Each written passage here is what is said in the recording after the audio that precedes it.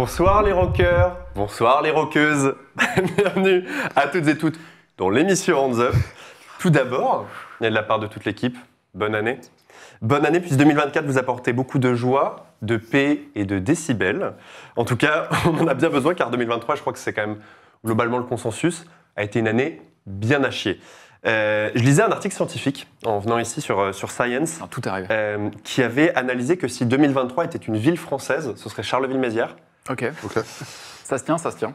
C'est euh, évidemment faux, n'allez pas chercher l'article, mais qu'importe car 2024 s'annonce infiniment meilleur.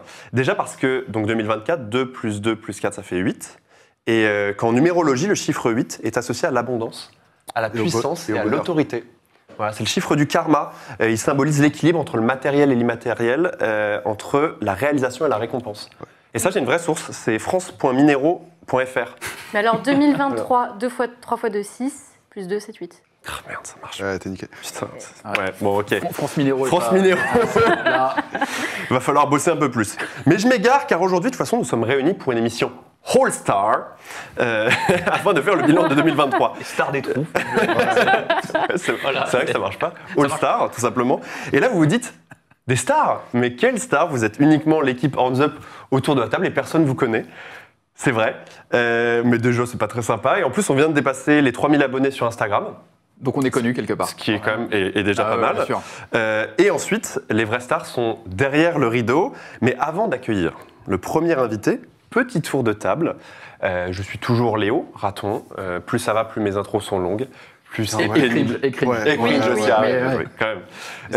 J'ai aussi Valentine en face de moi. Valentine, tu es, toc toc toc, quasiment un mur porteur de l'émission. tu es ma fidèle acolyte. Salut Valentine. Salut, bonne année. Victor, à ta droite, Aïe. autrefois homme Non, simple et drôle. gauche, frère. Ça, C'est à ta gauche, espèce d'abruti. Ah oui, ah oui, c'est vrai, à sa gauche. Ok, Victor, autrefois homme simple et drôle. Il a pris la grosse tête depuis qu'on le reconnaît en festival, Bien sûr, mais il reste drôle. C'est vrai. témoigne, effectivement. On le reconnaît en festival. C'est tout à fait vrai. On. Euh, J'ai Mickaël aussi. Euh, lui, toi, t'as jamais été simple, par contre. Euh, C'était l'autre moitié du vivement Lui, on pensait pas que la tête puisse encore grossir, Ah mais si, il y a possibilité. Tu es l'autre moitié du vivement Doumanche et tu es la mémoire d'usine. Je dis, tu es la mémoire d'usine, Mickaël. Ah, aut- autant pour moi, autant pour moi. Et à ta gauche, euh, c'est bon cette fois, Malice, Florent, euh, pour la première, pour sa première dans l'émission. Euh, il nous vient de loin, d'un pays plus étrange qu'étranger, Exotique. la Belgique. Euh, dans la rédac, il est surnommé le tas de sel, car il a probablement les pires goûts du webzine. Probablement, oui. Je... Ça se joue entre Non. deux ou trois personnes, mais je pense que je Mais dois tu, être. de toute façon, tu l'assumes. Je- Oui, à tout fait. ouais. Ouais, ouais, tout à fait. Euh, dans, parmi l'équipe Hands Up, il y en a aussi un qui est infiltré dans le chat, même je crois en avoir vu deux. Il y a euh, Lille Cheval de Glace, Hugo, euh, qui assure la modération. Et il y a ZSK aussi que j'ai vu passer, même Mathias. Tout le monde est là. Euh, merci donc au chat qui est là. Euh, merci à Hugo pour la modération. Merci à Studio 17 pour la production et surtout à JB, à la réalisation. JB, on t'aime. Cette émission, étant donné qu'elle est All-Star, euh, il y aura des petites chaises musicales, notamment Malice. Je pense que tu peux partir. Ben, On a super. plus ça, ça me fait plaisir de me taper besoin 6h30 de Ouais. Flixbus pour ça. C'est Voilà. génial. Donc, euh, Merci tu, beaucoup. tu nous attends en coulisses Ok. Je ferai ça. Super, gentil. Et je propose de lancer un jingle pour le premier invité. I feel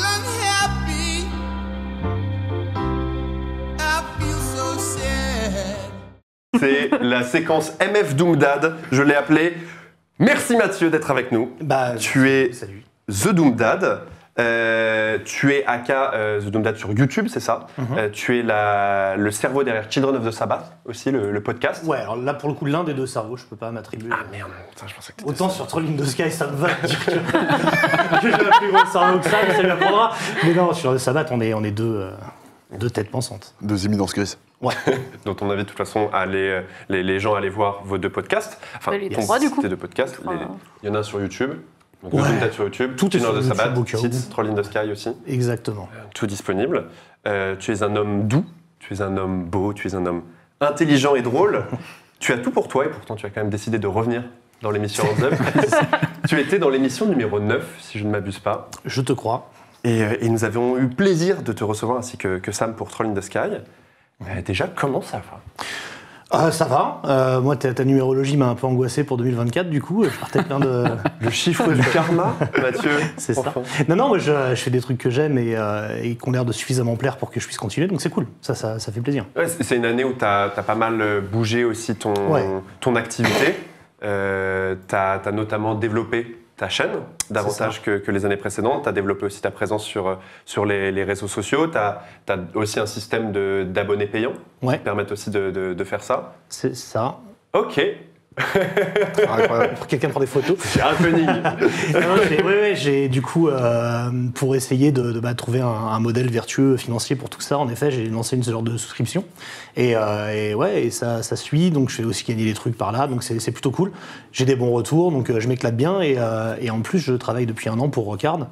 Donc du coup, euh, ça me fait des journées bien remplies, mais euh, bah, je parle de musique toute la journée, quoi, sur différents médias, donc c'est cool. Et, et les retours sont bons, c'est-à-dire que tu t'épanouis dans, dans ce nouveau modèle-là? Ouais, c'est un ouais, truc où les créateurs parfois peuvent être un peu. euh, se sentir laissés pour compte aussi de- des algorithmes, de la façon d'interagir avec le public? Ouais, ouais, alors moi je fais beaucoup de concerts et de festivals, donc je croise des gens à ce moment-là. Ouais. Donc finalement, finalement, des retours, j'en ai aussi comme ça en direct. Et euh, non, non, enfin, c'est vrai que c'est étrange parce que tu es quand même vach- vachement seul face à ton écran et, euh, et après tu balances une vidéo et t'attends de voir ce que les gens en pensent ou pas. Ouais. Mais après, les algorithmes, euh, j'essaie vraiment de m'en détacher parce que de toute façon, il n'y a pas de projet quand tu parles de, de métal. En plus, dans une petite niche, t'as pas de projet de faire des milliards de vues. Donc, Ouais. Voilà. on, s'en est rendu compte assez rapidement. c'est ça, je savez de quoi, de quoi je parle. Donc l'important, c'est plus de fidéliser les gens qui sont dans ce trip-là, et, et voilà quoi. Et ça a l'air d'être le cas. Donc Non, mais ça, ça marche déjà. Tu as, lancé une, une marque de fringues. C'est-à-dire qu'en fait, quand tu es créateur de contenu, que tu as des abonnés payants et que tu lances ta marque de fringues, c'est que tu as, tu vois, genre, c'est- c'est c'est- c'est un certain step. soit c'est un certain step, soit t'es complètement taré. Ouais. non, ça va, ça, va, ça, ça suit suffisamment. Bah après, en fait. euh, bon, c'est pas rigolo à raconter, enfin c'est un peu chiant, mais euh, voilà, j'ai jusque-là pu bénéficier du chômage, donc euh, j'étais en mode tranquille, euh, voilà. Maintenant, moi je suis un daron de 40 ans, j'ai deux enfants, un crédit, euh, faut que faut faire ça sérieusement ou repartir bosser. Donc, Ouais, bien sûr. donc voilà, donc je fais ça sérieusement. Et c'est surtout que c'est un truc dont on avait déjà pas mal parlé dans, dans l'émission, c'est-à-dire que mettre tout sur, le, sur la passion et, et prétendre que la scène entière survit par, par la passion, c'est aussi empêcher certaines, certains projets d'éclore.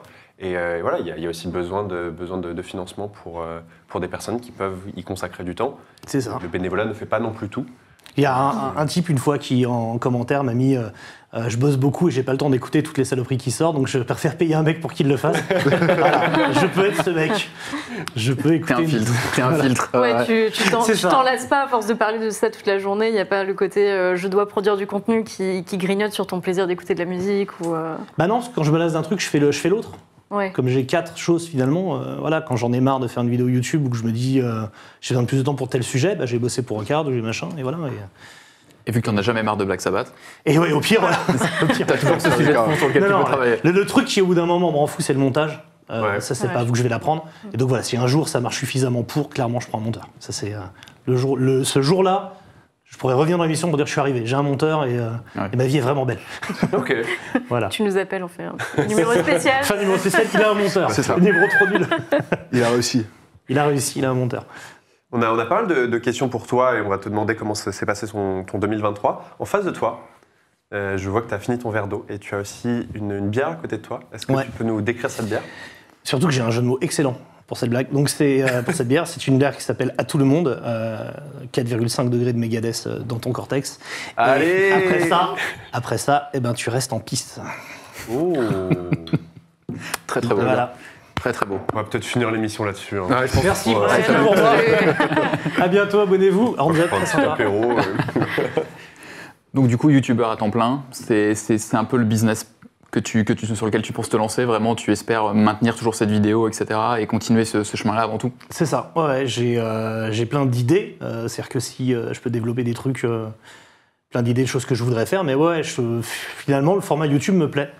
Il y a tout ce que les youtubeurs ont pu dire de, contrariété ou de complications, je, les partage, mais en tout cas, moi, je m'y sens bien. Donc, ouais, c'est ce que, ce que je veux faire. ouais. D'ailleurs, tu as vachement multiplié tes, tes formats. Au final, tu étais dans certains types de formats. Ensuite, tu as commencé beaucoup les live reports. Ouais. Euh, tu es même allé un peu dans des, dans des vidéos un peu typées investigation. Euh, ce que tu as fait par exemple l'analyse Ouais, pour le prix des vinyles, qui était vraiment euh, peut-être Ouais. une de tes vidéos majeures cette année. Euh, ce que tu as fait aussi sur l'analyse des prix des places de Metallica, qui avait Ouais. fait un bon gros buzz parce que mine de rien, c'était euh, c'était quand même un, un sacré pavé. Tu t'es même mis un peu en, en Élise Lucet du, du métal. Il y a, il y a un côté, il y a un côté du- Julien Assange là, tu vois. C'est- c'est sur, sur- sur le dossier, côté euh, lanceur d'alerte. Ouais, sur le dossier motocultor, t'as un, un plaisir différent à faire? Est-ce que tu vas multiplier un peu ces formats, typés un peu vidéo, d'investigation, entre guillemets, ou plus d'analyse que purement, purement musical? Ouais, moi ça me plaît parce que, euh, parce que déjà j'ai quand même des retours de gens qui sont pas spécialement métalleux ou alors anciens métalleux ou qui écoutent ça un peu de loin et qui aiment quand même regarder ma chaîne et qui aiment mon ton. Donc je veux aussi euh, penser à ces gens-là et, euh, et en fait je peux pas m'en empêcher au, bout d'un moment. C'est-à-dire que euh, dans le modèle là que j'ai créé, je, fais gagner des places de concert, je fais machin, etc. Et j'ai du mal à, me dire, bah, je vais faire de la promo pour un truc qui coûte un bras. Là, en ce moment, là, ma, ma nouvelle marotte qui commence à m'énerver, c'est les groupes de hardcore qui signent chez Live Nation et qui font des, des concerts super chers. Alors, en fait, moi, je Loose. voilà, c'est un groupe que j'aime beaucoup et je préférais que ça n'existe pas, en fait. Mais euh, après, si ça existe, je peux pas juste dire. euh, non, mais en fait, les mecs, euh, c'est des vrais investis, euh, c'est des vrais mecs comme nous, etc. Bon, ok, c'est 100 balles la place. Bon, ouais. ah non, enfin, c'est pas 100 balles pour Knock Loose, mais tu vois l'idée. 37 euros. Euh, voilà. Et encore 37 ça va, mais il faudra voir la prochaine tournée. Et tu te dis, bah, pff, je sais pas, euh, si, tu, si tu prônes un truc où en gros la scène hardcore, depuis le confinement, il y, a- il y a une sorte de vrai élan euh, à la fois qualitatif et de, et de, de- de- de prise de conscience d'une sorte de jeunesse américaine notamment, mais pas que, qui, euh, qui se bouge un peu, bah, les voir avalés par le système, c'est un peu triste quoi. Ouais. Tu te dis, putain, fait chier, je peux- moi je comptais vraiment sur eux pour faire autre chose. Et en fait, ils font Voilà. des converses en mode, en mode turnstile qui sont sortis aujourd'hui d'ailleurs. Les Ah ouais. converses, les converses Tu les avais mec. précommandés, bien sûr. Ouais, je les ai prises. je vais les Ah, revendre les 5000 mouillons. balles dans tu 8 vois mois, mon pote. Euh, Turnstile, ils ont, ils ont euh, essayé de gratter au Hellfest des, des cachets Ouais. pas possibles et qui se sont retrouvés exclus de l'affiche bien légitimement. Le Hellfest Bien a sûr, bien ouais, fait parce ouais. que euh, les mecs sont revenus, sûrement le manager plus que, j'en sais rien, mais il y a un moment, bah, respecte-toi quoi. Enfin, C'est clair. et, et, euh, ça m'amuse pas moi d'aller râler spécialement. Mais, euh, mais voilà, c'est une, c'est une scène qui me tient à cœur et quand il y a des trucs un peu abusés, ça, ça me semble bien de le dire. Quoi. Voilà. Le, le coup de gueule qui a un peu euh, changé quand même ta, ta, ta chaîne, c'est le motoc. Moi, à titre perso, j'ai bien aimé déjà le côté un peu André Malraux. Genre, euh, entre ici, motocultor, parmi les festivals mal organisés et tout. J'étais là, genre, ça c'est ma gauche, tu vois. Et, euh, non, mais en plus de ça, déjà, est-ce que tu as dû aller. euh, est-ce que tu t'es réfugié à l'ambassade? oui, bien sûr. Seul, ouais L'ambassade de Bretagne. Ouais, c'est ça. C'est une- crêperie, ça s'appelle le Jocelyn. non, non, euh, alors, je, alors je sais pas, techniquement, sur, je j'ai pas- peut-être pas assez surveillé, mais je sais pas si c'est une vidéo qui a particulièrement fait buzzer ma chaîne. J'ai l'impression que celle du Hellfest un peu avant. Avait un peu plus marché, hein. Avait plus, euh, elle a plus marché en matière de vues et j'ai l'impression qu'il y a eu plus d'abonnés à ce moment-là. Mais oui, clairement, la polémique, ça fait vendre, entre guillemets, enfin, ça ramène des gens. Ouais. Ça, c'est sûr. Euh, maintenant, moi, j'essaye de pas en abuser. Ouais. Euh, le motoc, j'avais fait une première vidéo report où je restais un peu, euh, alors pas sobre, mais en disant, voilà, euh, moi, je me suis bien marré, mais il y a quand même des trucs, c'est abusé. Et surtout, ça fait 15 ans. Moi, c'est la première fois que je viens, mais ça fait 15 ans qu'on en parlait. Et en fait, j'ai reçu beaucoup de messages de gens disant, c'est léger, quoi. On s'attendait de ta part à plus parce que, parce que en fait, on en chie vraiment, quoi. Donc, j'ai dit, bah, dites-moi. Pour l'anecdote, il y a le Mency Fest où j'étais juste après. J'ai passé euh, mes journées avant le Mency Fest où à rater les premiers groupes, parce que je te téléphone tout le temps avec des gens qui m'appelaient, des machins et tout. Et au moment, j'ai dit, qu'est-ce que je fais de tout ça? Est-ce que j'en fais rien? Est-ce que, voilà, j'ai finalement sorti 10% de ce qu'on m'a donné, parce qu'il y a aussi ce que les gens te disent et après. Oui, ce qui n'est tu- pas vérifiable. quand tu demandes une preuve ou que tu dis, bah Ouais. moi, moi, si je sors ça, euh, bah clairement, je vais aller au tribunal. euh, Qu'est-ce que je fais si tu me donnes rien? Oui, je te donnerai plus tard. Maintenant, je peux. Enfin, tu vois. Donc clairement, j'ai lu, relu, j'ai fait attention et j'ai bien fait parce que ça fait des remous.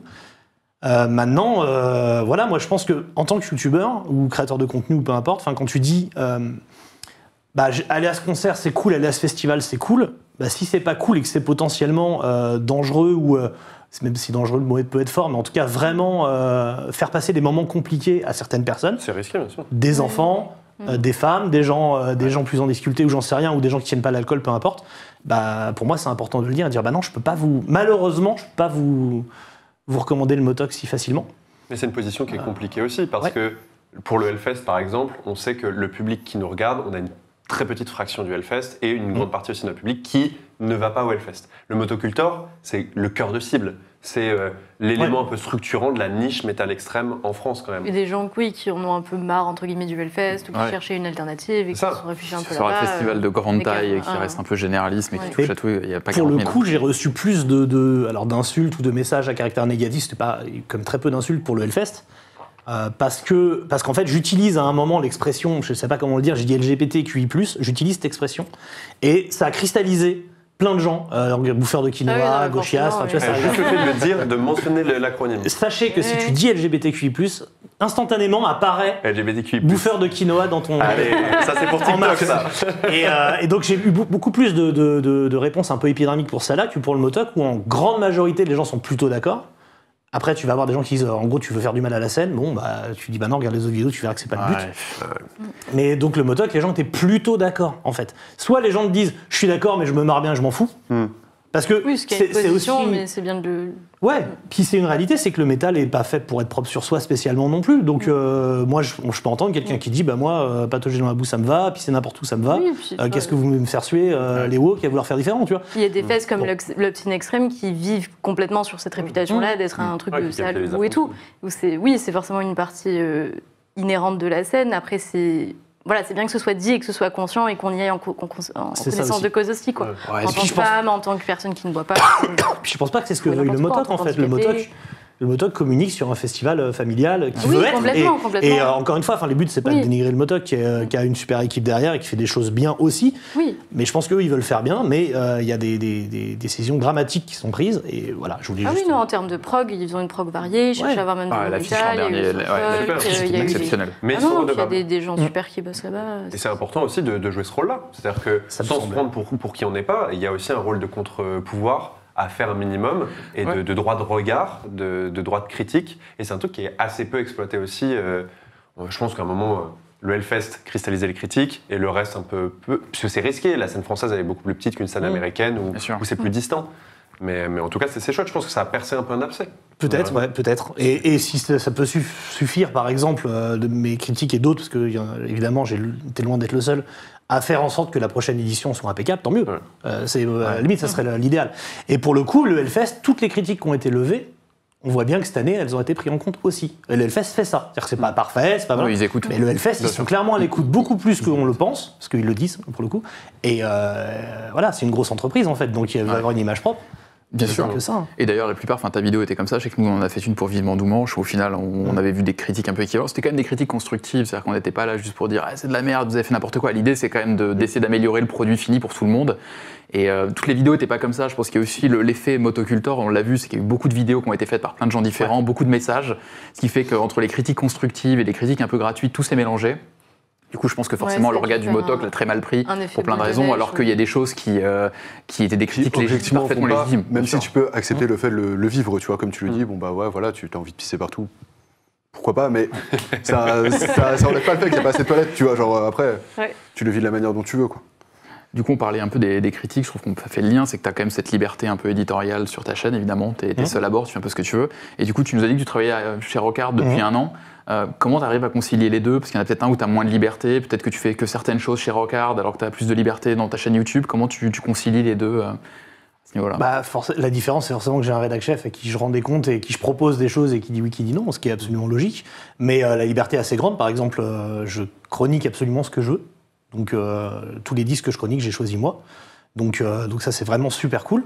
Et, euh, et après, bah, que, la seule chose que ça a fait d'arriver à Rockard, c'est que je fais quasiment plus ou plus du tout sur ma chaîne de, de review de disques. Mm. Parce que comme je le fais dans Rockard, j'ai pas envie de faire euh, doublon. Ouais. Parce que ça m'amuse pas, parce que voilà. Et en plus, parce que c'est ce qui faisait le moins de vues sur ma chaîne. Donc c'est facile à abandonner un, un- un schéma qui fait, un, Et entre qui un, fait moins de vues. entre un format vidéo et un format écrit, est-ce que tu as une préférence? Est-ce que tu as l'impression que tu t'exprimes différemment Ou que tu arrives à véhiculer en effet différentes choses? Par exemple, la chronique par écrit, tu véhicules, tu la structures pas de la même cho- manière que tu l'aurais fait à l'oral.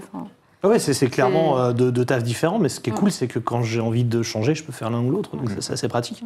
Il y a des sujets où je me tâte. Est-ce que c'est un dossier Rockard Est-ce que c'est. euh, Ok. Ouais, parce que tu as aussi un côté où tu fais des, des gros dossiers sur Rocard, tu as Ouais. les interviews, tu as fait Slift euh, cette, euh, Yes. ce, ce mois-ci, là, ouais. Ouais. Et tu fais aussi des trucs un peu plus profonds que font aussi Rocard, par exemple les Metal Tech Idéal, des trucs comme ça, un peu plus de. Ouais, de, ouais, de fond en fait. Et même Et sur ça, les- comment les tu, deux dé- tu définis entre le, la vidéo ou l'écrit? Déjà de mon côté, alors c'est souvent assez évident hein, quand, le, quand Ok. le sujet arrive, euh, ça paraît évident que ça va plus aller sur l'un ou sur l'autre parce que euh, est-ce que c'est visuel ou pas, enfin voilà. Ouais. Bien sûr, ouais, Et puis après, il y a évidemment le filtre de est-ce que Rocard est intéressé, mais, euh, mais pour le coup, en général, quand je propose un truc euh, que j'ai réfléchi en amont, ils sont intéressés. Ouais, tu, sais ce que tu fais, bien sûr. Et en effet, Rocard fait des dossiers de fond depuis quelques temps, depuis quelques années, bien avant mon arrivée. hein. Et, euh, et donc j'ai pris un vrai plaisir à rentrer là-dedans. Notamment, j'ai fait un dossier sur le streaming et, et j'ai vraiment kiffé parce qu'en plus, c'est- c'était opaque pour moi aussi. C'est-à-dire qu'à un moment, bah, j'ai pris mon téléphone et, je suis, et mon, mon dictaphone et je suis allé à 10h et puis j'ai posé des questions et puis j'ai essayé de comprendre. J'ai eu une chance folle, c'est qu'ils étaient en train de changer de modèle et que du coup, ils voulaient le promouvoir. Donc, ils m'ont accueilli. Les bras ouverts, a priori, c'est plus compliqué que ça. Spotify m'a jamais répondu, par exemple. Et euh, parce que c'est bizarrement. Surpris. Pas surpris. Et en fait, je suis sorti, vraie, vraie histoire, hein, je suis sorti de Deezer en me disant, euh, il est bien le gars à qui j'ai parlé, et leur modèle, c'est quand même. et Il pense aux artistes, c'est cool et tout. Puis après, tu sais, en débriefant, en bossant, bon, c'est quand même pas si simple, tu vois. Donc j'ai pu tempérer le truc en disant, non, non, bon, euh, ils sont aussi pieds et poings liés par les, par les majors, c'est clair. Euh, Il y, a, il y a des luttes d'influence, enfin, il y a du lobbying qui est clair et qui est pas caché. Mais, euh, mais du coup, c'était intéressant d'essayer de rendre le truc, de le vulgariser, en fait, de Ouais. rendre. Ouais, bien sûr. Et en plus, j'ai pu l'appeler Streaming for Vengeance, alors t'imagines comme. euh, je crois que je l'ai fait presque que pour ça. sur, euh, sur Rockard, tu as chroniqué combien de disques cette année, tu penses? Bah, je fais euh, environ 8 chroniques par mois, donc ça doit faire euh, 90 minimum. Et, euh, et du coup, les, les gens veulent savoir. les gens veulent savoir. Il y a même des gens qui nous disent il y a l'équipe de Silenceless Radio qui nous écoute, même Yes. si on est en live sur notre chaîne actuellement. Des liégeois. Je comprends pas comment c'est Bah, c'est possible. des Belges, ils peuvent tout faire. Ils Bah, ont, c'est c'est les les- ils ont le don d'ambiguïté. Mais on les salue. Et on salue tout le monde dans le chat. Merci pour vos questions. Mais du coup, tu as chroniqué beaucoup. Qu'est-ce qui ressort? Qu'est-ce qui surnage? Quel est ton top 2023 Ah, Ce qui est, ce qui est drôle, c'est que mon top 1, je ne l'ai pas chroniqué. Ouais. Parce que le, le champion, Ouais. parce que c'est un groupe Ouais. qui, qui est, qui est nul en, en promo. Et euh, donc, quand l'album est sorti, il l'avait répertorié sur Discogs et un peu partout comme étant de 2022. Donc, pour moi, c'était trop tard. Et c'est au moment de faire mes tops, je sors mon top Doom, et les gens me disent Bah alors, euh, t'as fait la promotion de tel groupe, il est même pas dans ton top et tout. euh. Bah non, normal, il est en 2022. Et- Non, non, il est 2023 d'avril. Ah bon? Donc j'aurais Ah pu oui. le faire, mais donc voilà. Donc je me suis rendu compte de l'année à la fin de l'année, quoi. Donc c'est pour ça qu'il y est pas, sinon je l'aurais fait.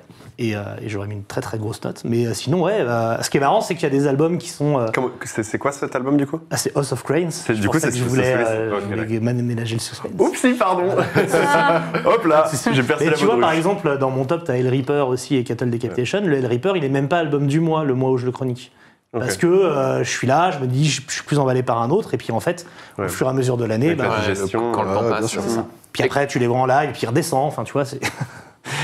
Ah Donc, oui euh, ouais, j'étais un peu frustré par le. le live de Trabendo. Alors, C'était on attaque le dossier au Non, non, non, je parle du Trabendo, là, là, Ah, il y a Trabendo moins d'une Ah oui, non, j'y étais pas. Samedi, là, avec, euh, j'ai- euh, et euh, en fait, euh, El Reaper, ils ont joué beaucoup d'anciens morceaux. Juste deux, deux nouveaux morceaux. Et j'étais, bah, je le savais parce que la c'était Oui. la même et j'étais un peu frustré et tout. Et j'ai chopé le, le gars, je suis désolé, j'ai un trou sur son nom. mais- James. Voilà. Je l'ai chopé euh, alors qu'il allait boire une bière. Je dis, bah mec, euh, c'est quand même fou parce que tu, tu sors des, du Venom Warship, ce qui est cool, mais. euh, Mm. Ce qui est cool et, et voilà. Et puis à un moment, tu fais un vrai album avec, euh, avec vraiment plus de trucs. Tu sors de tes influences premières et tout. Et tu le joues pas en live. Tu joues que Heil de Goat et des Ouais, trucs. c'est euh, euh, c'est fou parce qu'en octobre, ils avaient joué, c'était vraiment équilibré avec la setlist. et C'est ça. Mais alors là, moi, il m'a fait une réponse de politicien en me disant Ouais, mais euh, parce que là, c'est comme on est en première partie, euh, je voulais raccourcir le set. Mm. Donc j'ai compté sur mes doigts. J'ai Compte avec moi. Tu raccourcis le set et tu mets plus de chansons. Non, de- mais L'album le moins représenté, il c'est jouait le avec dernier. Toxic Holoco aussi. Il s'est dit, je vais, je vais me caler Non. sur le même créneau. Toxic Holoco, ils ont pas joué, ils ont essayé. Ils ont pas joué.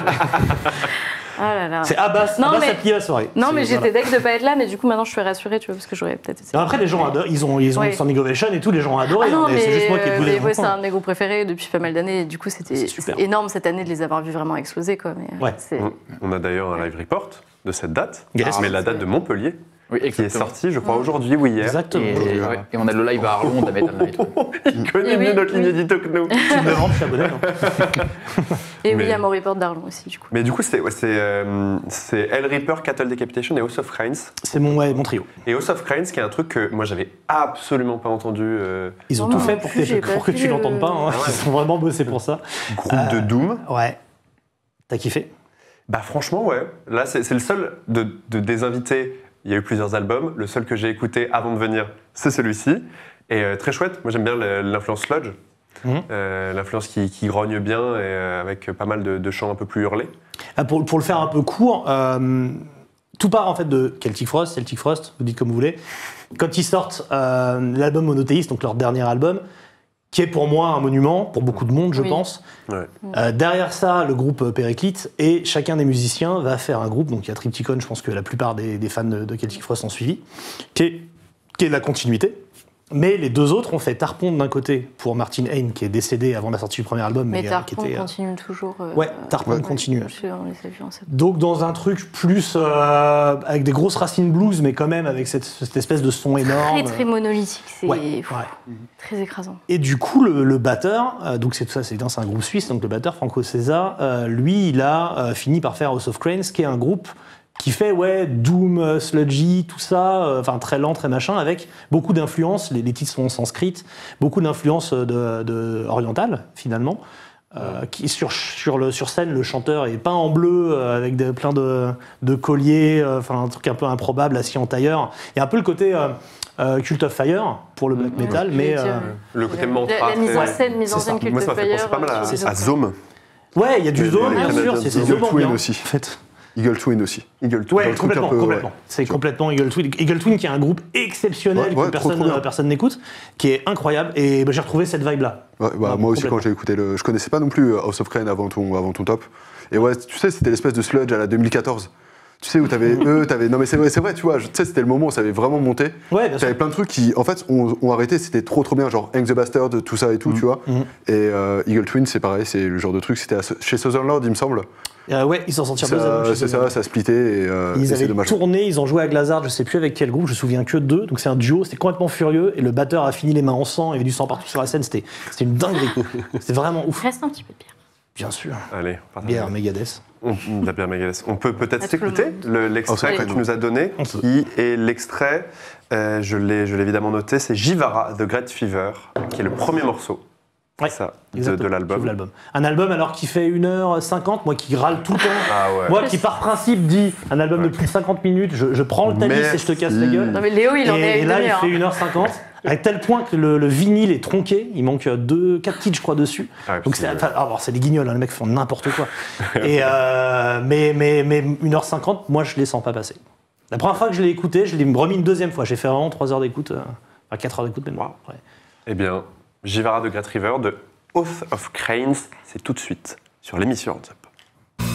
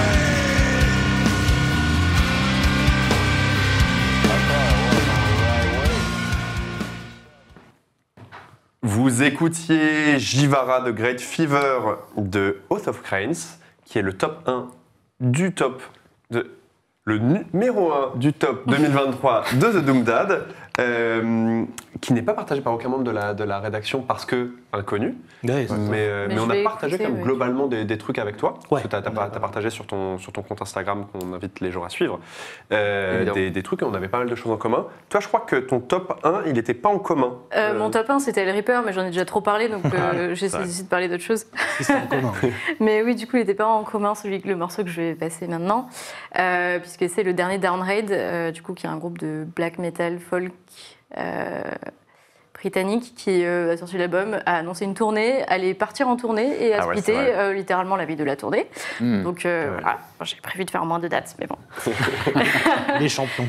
Euh, voilà, donc c'est un groupe euh, également euh, très engagé, euh, les gens qui connaissent euh, savent qu'il y a des A anarchistes partout sur tous leurs visuels. Ouais, putain, un des groupes Euh, fer de lance voilà, de, un peu, Ouais, euh, du RAB. Du RAB, Ouais, ouais. ouais, ouais, complètement, et qui ont vraiment un peu ravivé euh, cette scène et l'ont un peu, entre guillemets, popularisé, ça reste relatif parce que, bon, on parle de pétale de niche, mais euh, voilà, qui ont, euh, qui ont quand même euh, eu un, plus de succès que beaucoup de groupes de RABM en tout cas. Et euh, vraiment, donc ils ont toujours eu ce côté où ils mixent euh, beaucoup de black metal avec beaucoup d'influence punk, c'est un black metal souvent assez chaotique et assez, euh, assez virulent, avec du folk mais très doux, très lyrique, euh, avec beaucoup de chants clairs. Et voilà, sur les deux albums précédents, le- le, le mélange pouvait être plus ou moins équilibré. Et vraiment, sur le dernier, je trouve que il y a vraiment une ferveur, il y a vraiment des, des moments de pure violence et puis des moments de pure beauté avec des mélodies incroyables. Et euh, voilà, c'était vraiment un album que j'ai saigné, qui m'a énormément marqué, qui m'a énénormément ému. Et je leur veux énormément pour avoir splitté, mais Ouais. bon, je... De façon assez peu élégante, c'est ça Ouais, voilà, c'est, on est un peu dans le. En gé- en général, les, les groupes qui split comme ça, tu vois, genre, tu sais, hmm, Tu sens peut-être qu'il y a un eu truc y a pas net derrière, qui a fait mais. à peu près euh, pareil, Ouais, tu vois, vrai. genre, le, le gars ça. fait call-out de ouf. Mais ce, qui est, Bon. ce qui est dommage, c'est un groupe c'est vrai, qui, qui liait un petit peu les deux tendances actuelles du, du RABM, c'est-à-dire soit le côté vraiment très ancré dans le punk, Ouais. qui, a très longtemps été Soit dominant côté, dans le euh, RABM, soit le côté très folk, très hippie, ça. euh, entre guillemets, ouais. avec un côté un peu même médiéviste, euh, Ouais. vieille pierre. euh, qui- Et euh, qui je trouve que c'est un des rares groupes de black metal récents où je trouve vraiment qu'il y a une genre de rage, une genre de, de sincérité comme ça qui, qui transparaît au-delà de l'engagement politique, vraiment dans la musique, je trouve. Ouais. Bah, on s'écoute le petit extrait que tu nous as prévu, c'est le dernier morceau de l'album, je crois, Go As Free Companions, Ouais. euh, de Dawn Raid. C'est tout de suite.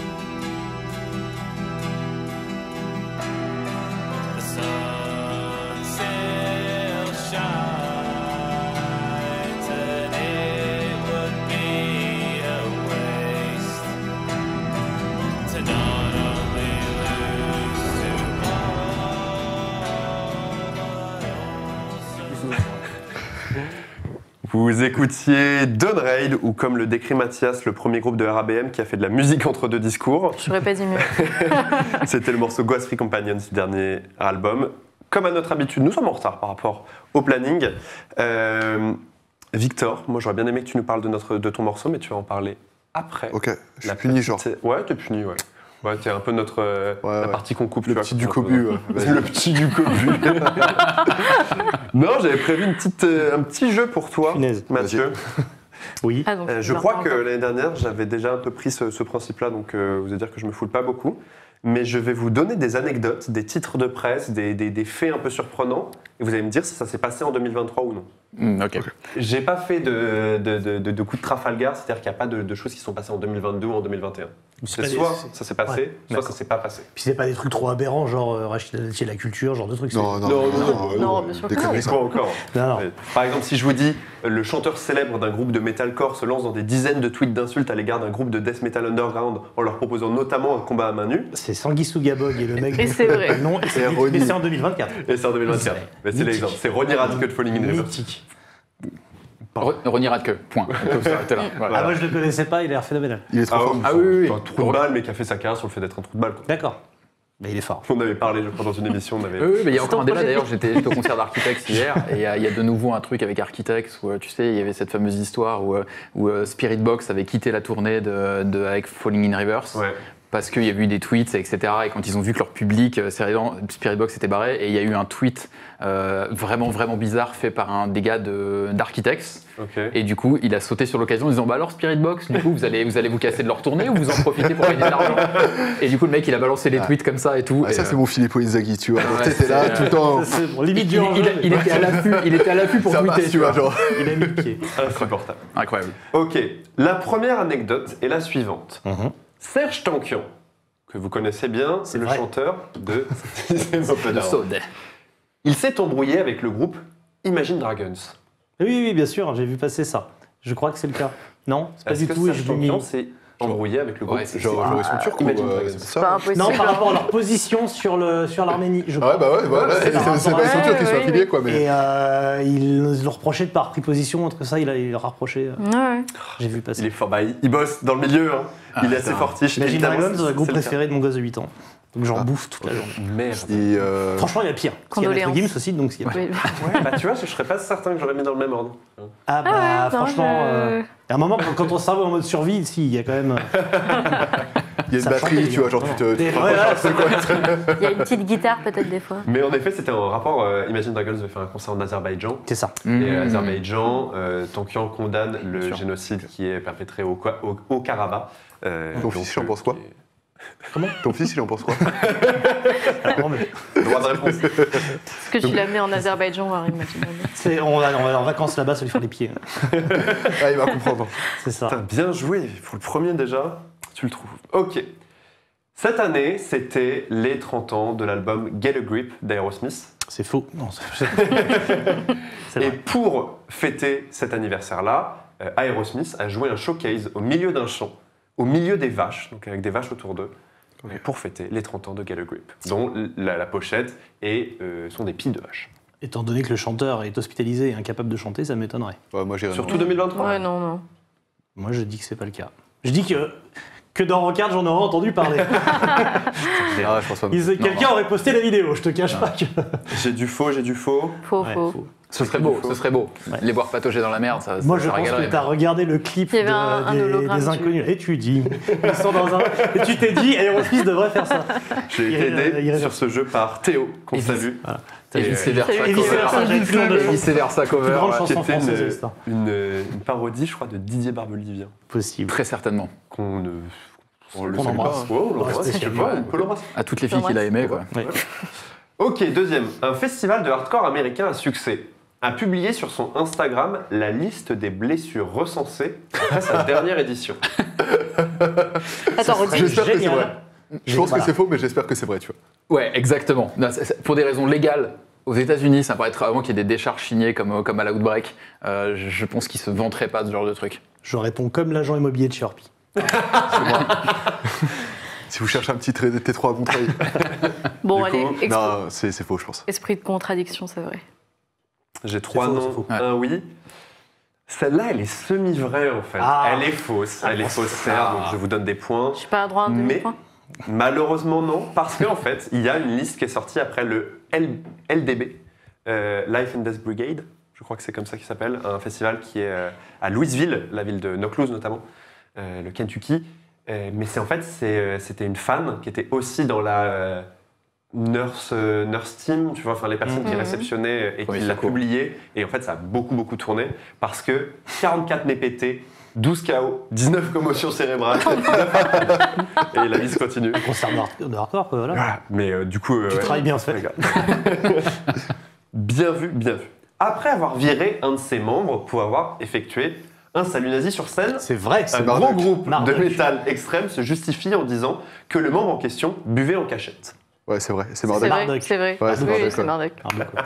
Ah, c'est- cette excuse, elle est fantastique. Quoi. Elle est énorme. Non, mais en fait, euh, Je crois qu'il y a aussi, euh, je sais plus quel groupe c'était, où ils avaient justifié en disant non, non, mais en fait, c'est juste quelqu'un qui a pris la photo à ce moment-là, mais notre chanteur, en fait, juste il levait le bras, tu Il vois, pour genre le lever comme ça, tu vois. Mais juste la photo a été prise où le bras était à 45 degrés. Et ce qui est phénoménal, c'est qu'ils ont dû se mettre à dos tout leur public, c'est-à-dire les nazis. qui Comment ça, vous irez avec parce qu'il est comme vous Et vraiment, c'est le move, euh, le move de champ, quoi. Surtout qu'en plus, ils avaient expliqué que dès le début de la tournée, ils s'étaient expliqué avec euh, le, le bassiste en question et avait dit T'arrêtes de boire à cette tournée. tu arrêtes de chiant.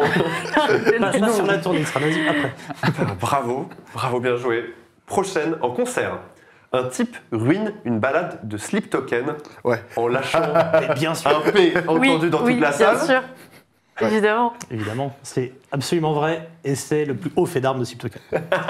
Ouais. Ça fait une carrière, ça, hein, certainement. Ouais, c'est vrai. À Sydney, en Australie. bien sûr. C'est en plus une balade, vraiment le côté genre très loin, loin de slip token. Putain, Et le mec le qui a fait ça, P- c'est un champion. D'une vie Il c'est à ce moment-là. Il avait un timing, il avait une fenêtre. Il l'a moi, fait pile au, même- au bon moi, moment. C'est- légendaire. Alors, C'est clair. Et je pense que Slip Token, il doit être dégoûté de ça. Ça doit être horrible parce que c'est il y a 30 000 vidéos qui existent, hein, c'est des stories partout, c'est génial. Surtout que je pense qu'ils sont assez prom dog. Ouais, je pense. C'est Prochaine. Le frontman d'un groupe de métal progressif ouvre un OnlyFans et déclare avoir touché plus de 60 000 dollars en trois mois. Ah, c'est tricky parce que, Parce que c'est pas impossible. c'est les mecs, ils sont capables de tout dans le prog. Ouais, donc, euh, ouais, ouais. ouais. T'as dit prog metal, on est d'accord Ouais. Le frontman d'un groupe de métal progressif ouvre un OnlyFans et déclare avoir touché plus de 60 000 dollars en trois mois. Genre le seul mec du, du prog qui baise en fait.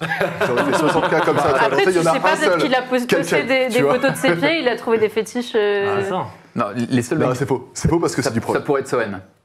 Si- si- non, c'est en dollars, c'est en dollars. S'il y a bien un groupe de baisers dans le metal prog, c'est Soen. Donc, euh, non, je pense que c'est faux. Ouais, c'est faux. C'est faux. C'est c'est côté prog. Ah, punaise.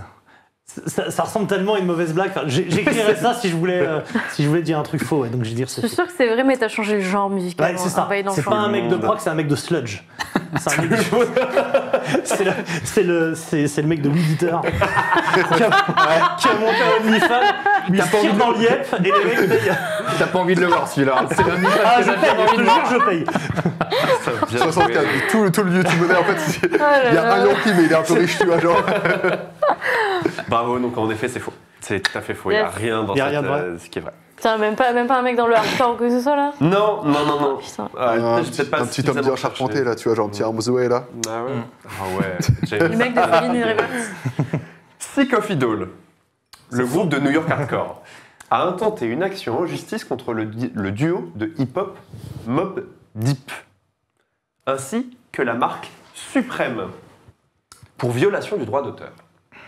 Ouais. Oula, Ouais, ça, ça sent le vrai. Je, je- je sais, ça sent le vrai. c'était trop précis. Ou alors Ouais. c'est c'est Michael qui l'a créé. Non, personne ici ne m'a aidé. Pas de complice. Euh, Ouais, c'est peut-être vrai. Dit c'est des, vrai, gars je qui, dis vrai. euh, c'est des gars qui votent Trump. Ils sont, ils sont connus pour ça, tu sais. Genre, il y a pas mal de gars de, de la scène hardcore américaine des 90. En fait, Oui. c'est des, ouais, ouais, ouais, ouais, c'est des bons gars, c'est des bons gars de droite. et tout. Je pense H2O que ça. euh. C'est vrai qu'on fait le tour, mais de l'autre côté, ils sont passés par des rideaux. tu Ouais, sais. c'est Ouais, que vrai. ouais, c'est vrai. C'est vrai. Sick of Idol versus Mob Deep, c'est vrai? C'est un vrai. Ouais, ouais, ouais. ouais. Quatre vrais. Est-ce que JB, tu peux nous mettre une image à l'écran, s'il te plaît? Ah bah ça veut dire que c'est vrai. J'espère que les gens pourront aussi la, la voir. C'est en effet Oui, c'est le, j'ai le- vu le dragon. Ah oui. Ah, C'est le dragon raison, Idol. en gros. hein. Bah, Et en c'est effet- c'est le dragon du resto chinois Ouais. à Bainvillers. c'est- C'est un peu genre, ouais, Ah, petit mais change des trucs. Ouais, genre un peu plus gros, tu sais, tu les tires sur pente et puis t'as le même. Ouais, c'est euh, Ouais. c'est un peu compliqué là quand même. Et j'en ai un dernier pour vous. Ah, allez, j'en ai deux derniers. Une candidate à la présidence du comité républicain du Massachusetts Ça part mal. s'est insurgée sur Twitter après que le groupe de punk hardcore Bane, groupe de punk hardcore connu pour être à gauche, a déclaré, enfin, de punk hardcore quoi, a déclaré sur scène vouloir se torcher avec le drapeau américain.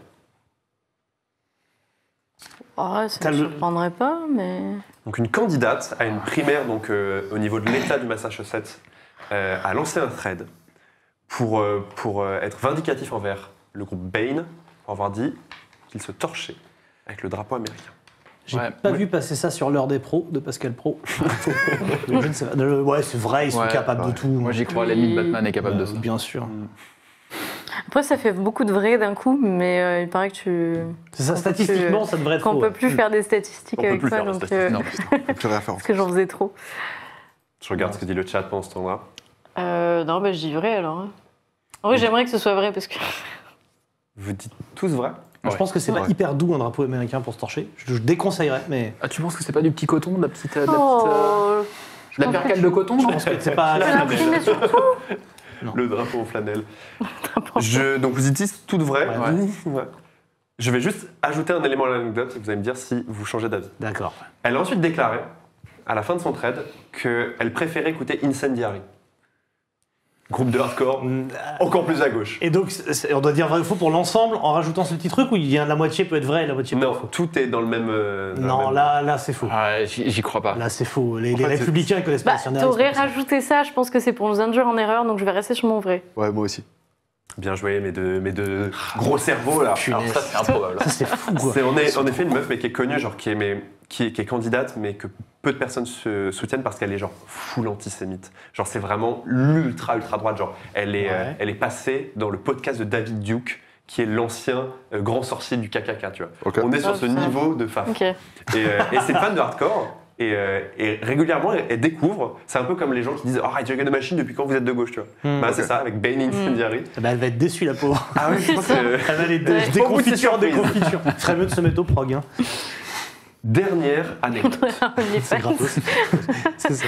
Mathieu, elle est pour toi.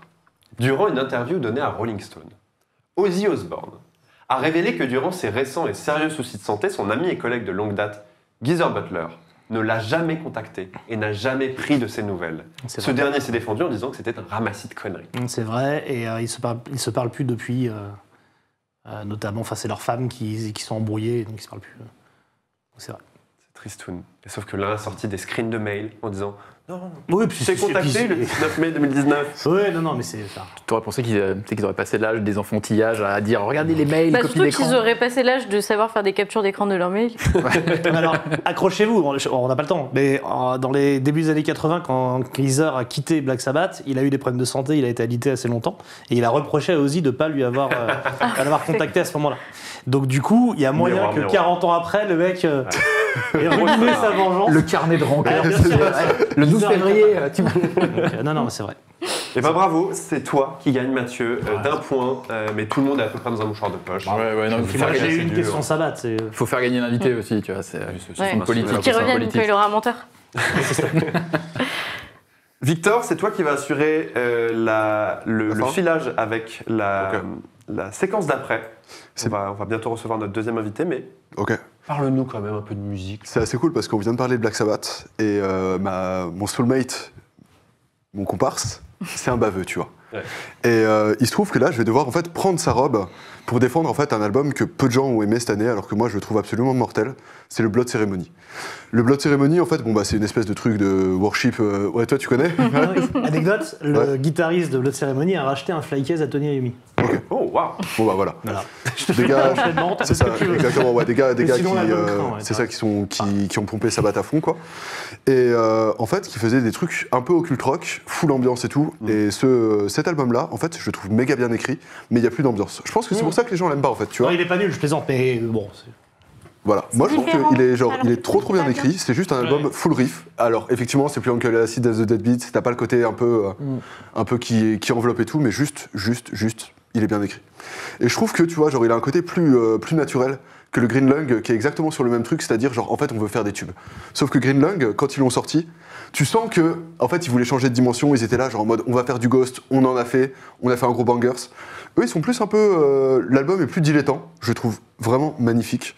Et on peut s'écouter The Hellfire Club. The Hellfire Club. Qui Et pendant que vous écoutez The Hellfire Club, il y aura un petit changement de plateau. On remercie beaucoup, surtout Mathieu, d'avoir été avec nous, The Doom Dad. Allez le suivre sur Instagram, sur. YouTube, sur ses podcasts. Tu fais énormément de choses et à chaque fois c'est bien. Ah, c'est gentil, j'essaye. Ouais. J'essaye. Merci, merci il, fait même, d'être il fait même des t-shirts maintenant. C'est-à-dire que Ah la ouais, tu vas être dans l'équipe Magali Berda à Dubaï, influenceur. on on t'arrête plus là. Non, j'ai encore des, des rêves secrets, mais pas ça. Pas ça, ok. Pas ça.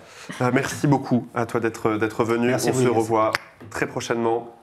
The Hellfire Club de Blood Ceremony. Et, Et pendant ce temps-là, changement. Monte en grade d'invité là.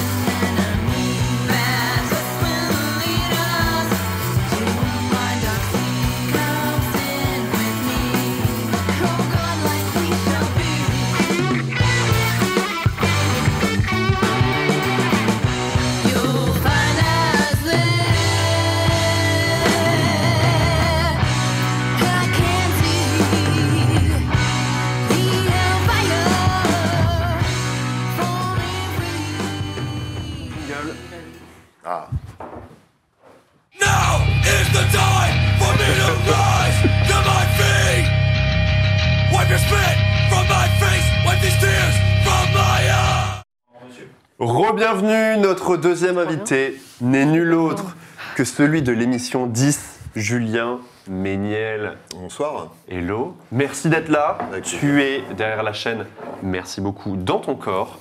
Euh, tu es un avide métalleux, tu as été aussi l'animateur cette année de la Hellfest TV, co-animateur. Co-animateur. Vous l'avez probablement vu en fest, vous ne l'avez probablement pas vu sobre, mais vous l'avez vu quand même. Allez, Hop là. Bienvenue chez nous. Merci d'être là. Avec plaisir, merci de m'accueillir. Comment tu vas? Bah, ça va très très bien. Et vous, ça va? La forme? Manifestement, moi.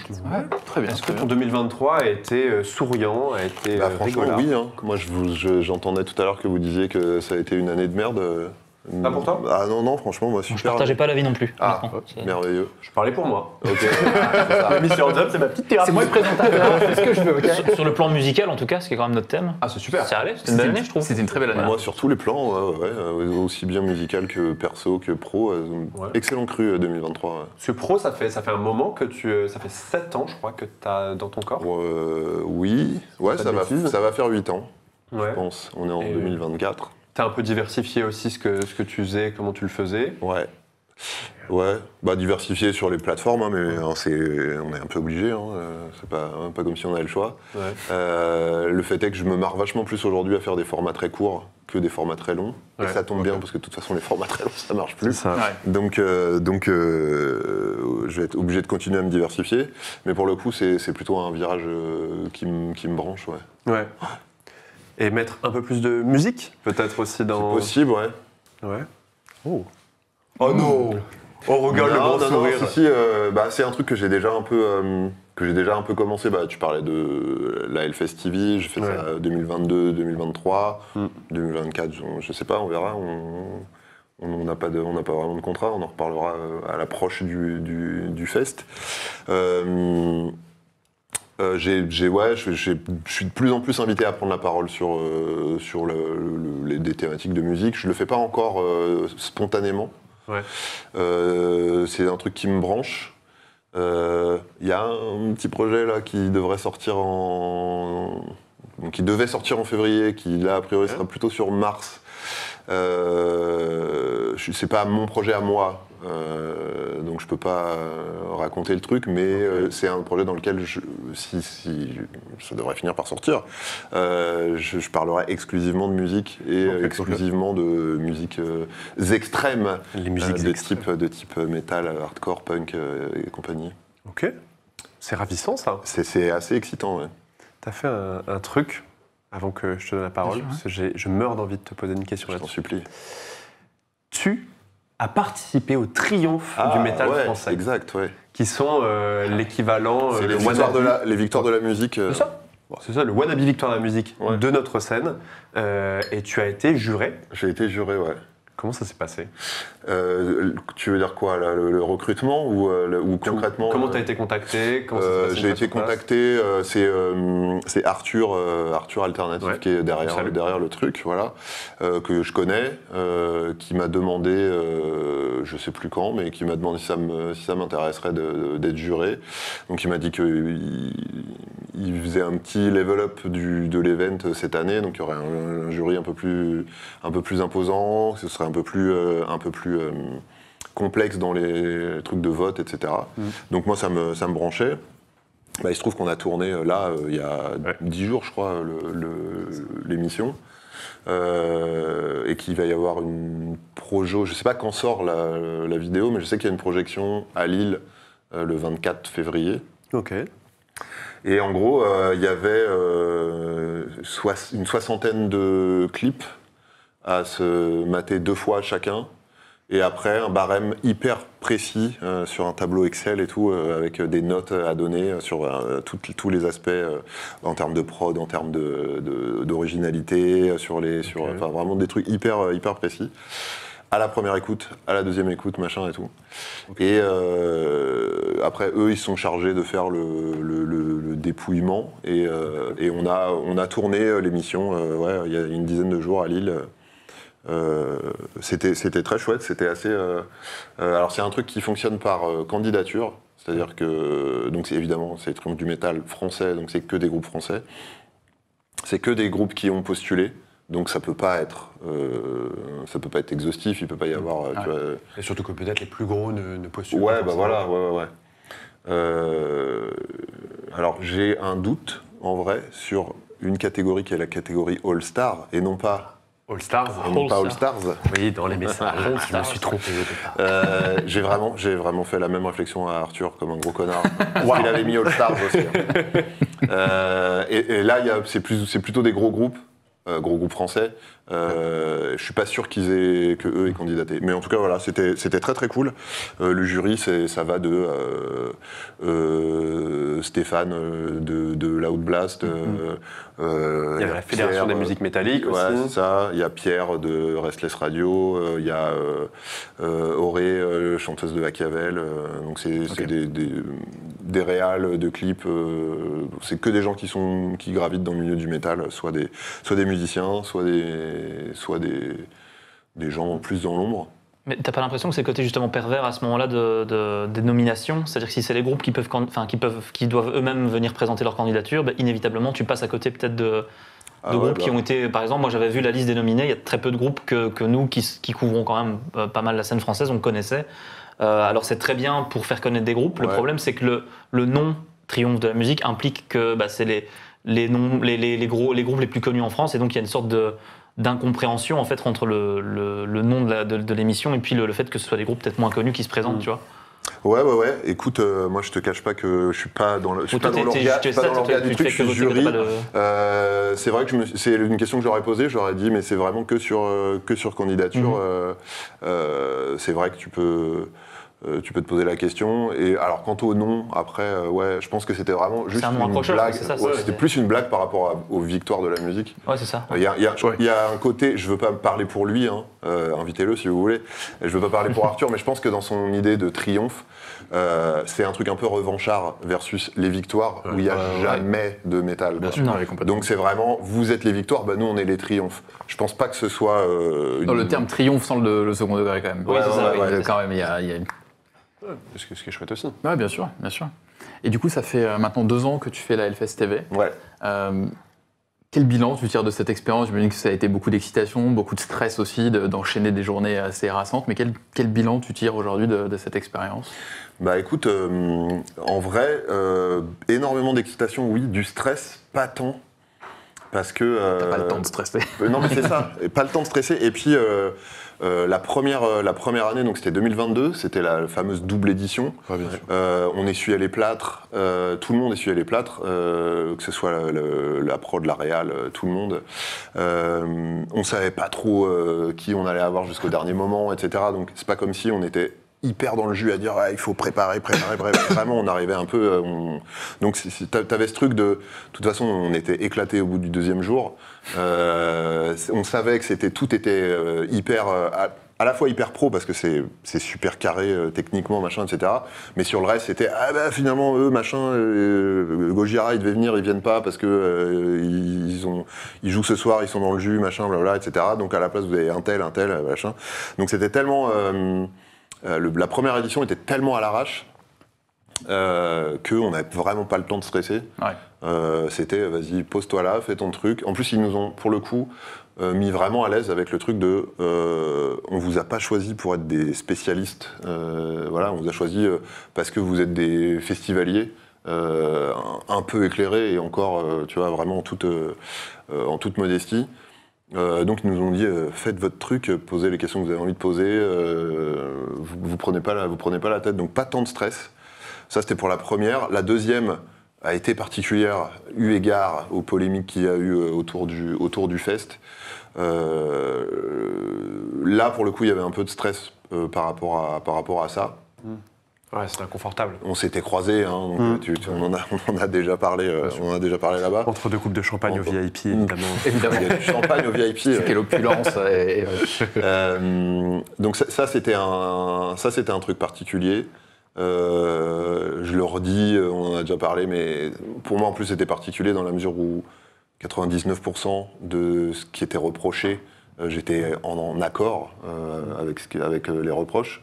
Des groupes que les gens n'avaient pas envie de voir programmer et contre lesquels ils gueulaient, bah, j'aurais aimé qu'ils soient pas là non plus. Euh, après, moi, j'étais assimilé à euh, l'orga du fest, ce qui est encore une fois pas le Ouais. cas. Tu vois, je suis euh, animateur d'une- chaîne Twitch, donc je, peux pas prendre position sur un truc que j'ai pas, sur lequel j'ai pas la main, quoi. Donc euh, c'était particulier, ce truc de, de se faire un peu chier dans les bottes par des gens avec qui t'es d'accord finalement. Ouais. Euh, c'est- un peu double dose. Euh, mais pour le reste, c'était hyper cool. Ça avait upgradé en termes d'orga. Là, pour le coup, euh, les groupes. euh, la différence et le truc marrant avec la première année, c'est que la première année, il fallait un peu aller chercher les groupes parce que le- les trois quarts connaissaient pas Twitch. Et euh, tu disais, à part, euh, je crois, je crois que c'était les mecs d'Avatar qui étaient euh, à fond, euh, machin et tout. Étonnamment. Ça, étonnamment. ça colle, ça colle à l'image, ouais. c'est- Mais, euh, mais tous les autres, savaient même pas ce que c'était, donc fallait un peu aller gratter et tout. Euh, là, de- là, le- cette année-là, enfin l'année dernière, euh, on avait des demandes. Donc on a refusé du monde. Euh, Ah, c'est fou, ça. et, et on avait des demandes, pas, euh, pas euh, des petits groupes Ouais. d'altar à, à 14h, tu vois, Ouais. des, des- des gros, euh, des gros groupes et tout. Donc, donc notre truc était vraiment posé à l'avance et tout, on n'a pas eu de surprise. C'était, ça roulait plus. Mais franchement, c'était trop chouette. Après, le- le- la team à l'intérieur, que ce soit les co-hosts ou, le- ou la team technique, etc., c'est vraiment hyper agréable. Ouais, ça, ça se ressent qu'il y a une alchimie entre vous. MacTube, Trinity, on sent que ça, que ça Ouais. marche très bien. Moi, ce qui m'a le plus étonné, c'était vraiment la qualité des artistes qui sont venus vous voir. Parce que généralement, euh, je sais que vous avez eu euh, vous avez le chanteur de Bring Me, vous avez eu Slipknot qui est venu. Généralement, c'est des artistes où euh, ils arrivent au dernier moment, ils ont des tournées, euh, tout est euh, vraiment Ouais. millimétré. Ouais, c'est c'est ouais, quand j'ai vu le Festival, je me suis dit, ils vont pas réussir à faire venir les têtes d'affiche parce qu'ils n'ont pas le temps. Mhm. Et au final, ça a été le cas. Vous avez quand même eu On beaucoup de monde, des- y compris des concerts de fin de journée où les types venaient. Euh, ça a très bien fonctionné quand même. Ouais, ouais, ouais, non, non, franchement, j'étais, euh, j'étais vachement, euh, vachement agréablement surpris que. mais c'est- et encore une fois, hein, ça, c'est des, c'est des groupes. alors, je crois que Bring Me, c'était 2022. Ouais, c'était en 2022 Ouais. que Colis Rike est venu. ouais. Euh, et en plus, ouais, tu vois, c'est. Oui, c'est pas- ils ont pas- ils ont- ils nous ont c'est pas ça, ouais. envoyé. Ils ont. Le- le bassiste ou, Oli s'est pointé, quoi. Ouais. Euh, ouais, ouais, c'était c'est ça. J'ai j'ai trouvé ça assez cool. D'autant plus que t'avais des groupes où c'était avant de jouer, mais t'en as aussi les mecs ils descendaient, de- ils descendaient littéralement de scène, quoi. Il y en a, on les entendait jouer pendant l'interview d'avant, et, euh, Et après, ceux d'après c'était eux, quoi. ouais. Ouais. Donc ça sentait un peu le fennec parce qu'on est dans un préfabriqué, tu vois, un, un Algeco, mais. Et c'est ça le Mais, métal. euh, mais c'était, mais c'est ouais, ouais, en c'était assez 2022 avec la, avec la bonne chaleur, Ah là, ouais, ça a dû être un bon moment. C'était ouais. l'enfer. ouais. Et donc les artistes décidaient de venir eux-mêmes ou il y avait une demande qui était faite avant Non, non, ils faisaient euh, une demande. Ils faisaient une demande et euh, alors t'avais ceux qui, nous on faisait des demandes. Les, les euh, RP des artistes faisaient des demandes et puis après bah du coup euh, on avait l'embarras du choix en fonction des réponses. Ah on a ouais, dit bah oui, euh, oui, oui, oui. euh. Après, j'imagine qu'il y en a qui peuvent peut-être dire oui, et puis sur le moment, s'ils sortent de scène, qu'ils sont engagés, ils arrivent, ils sont peut-être pas euh, super frais, super contents d'être là au final. T'as eu des expériences Bah, comme ça ou... Non, franchement, j'ai pas eu. euh, Enfin, moi, avec ceux que j'ai eu, non, vraiment pas. Euh, je sais que. Je sais plus, je vais pas, pas me dropper de toute façon, mais je sais que. Il y, a- il y a eu- un groupe cette année, en 2023, là, où c'était un peu compliqué parce que les mecs, euh, visiblement, soit pas trop envie d'être là, soit euh, étaient un peu éclatés après leur, après leur, leur show. Mais franchement, c'était un groupe. Mhm. Et tout le reste du temps, c'était. euh, non, non, Et c'était. à côté de ça, t'as eu du bordel de fou. Je sais quand Electric Callboy est venu, ça, Ouais. ça, ça ressemblait plus à rien. oui, oui, mais c'était trop bien. Bah, les mecs, euh, ils- bah, eux, ils descendaient de scène parce que je crois que vraiment, j'étais. En plus, moi, je, je, je faisais pas le créneau d'avant, donc j'étais en train de les regarder. Et après, je suis allé, euh, après, je suis allé en studio et eux se sont pointés. Ouais, ça c'est Là, cool. t'as l'adrénaline du concert en plus, donc ils sont, sont Ouais, encore, ouais, ils étaient sous acide, hein, c'est ça. Ah, mais- ah ouais, alors les- les- ceux qui étaient les plus, euh, je pense que c'était pas sous acide, hein, c'était euh, d'autres substances, mais c'était euh, les mecs de Aurore. Euh, alors eux, ils étaient, euh, waouh, mais adorables. Hein.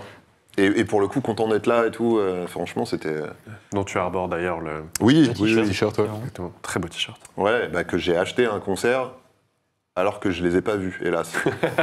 Euh, Gros move de poseur, je suis désolé. bah, je suis désolé. bah, bah, vraiment, je suis allé pour. En plus, c'est un concert que j'allais voir pour eux.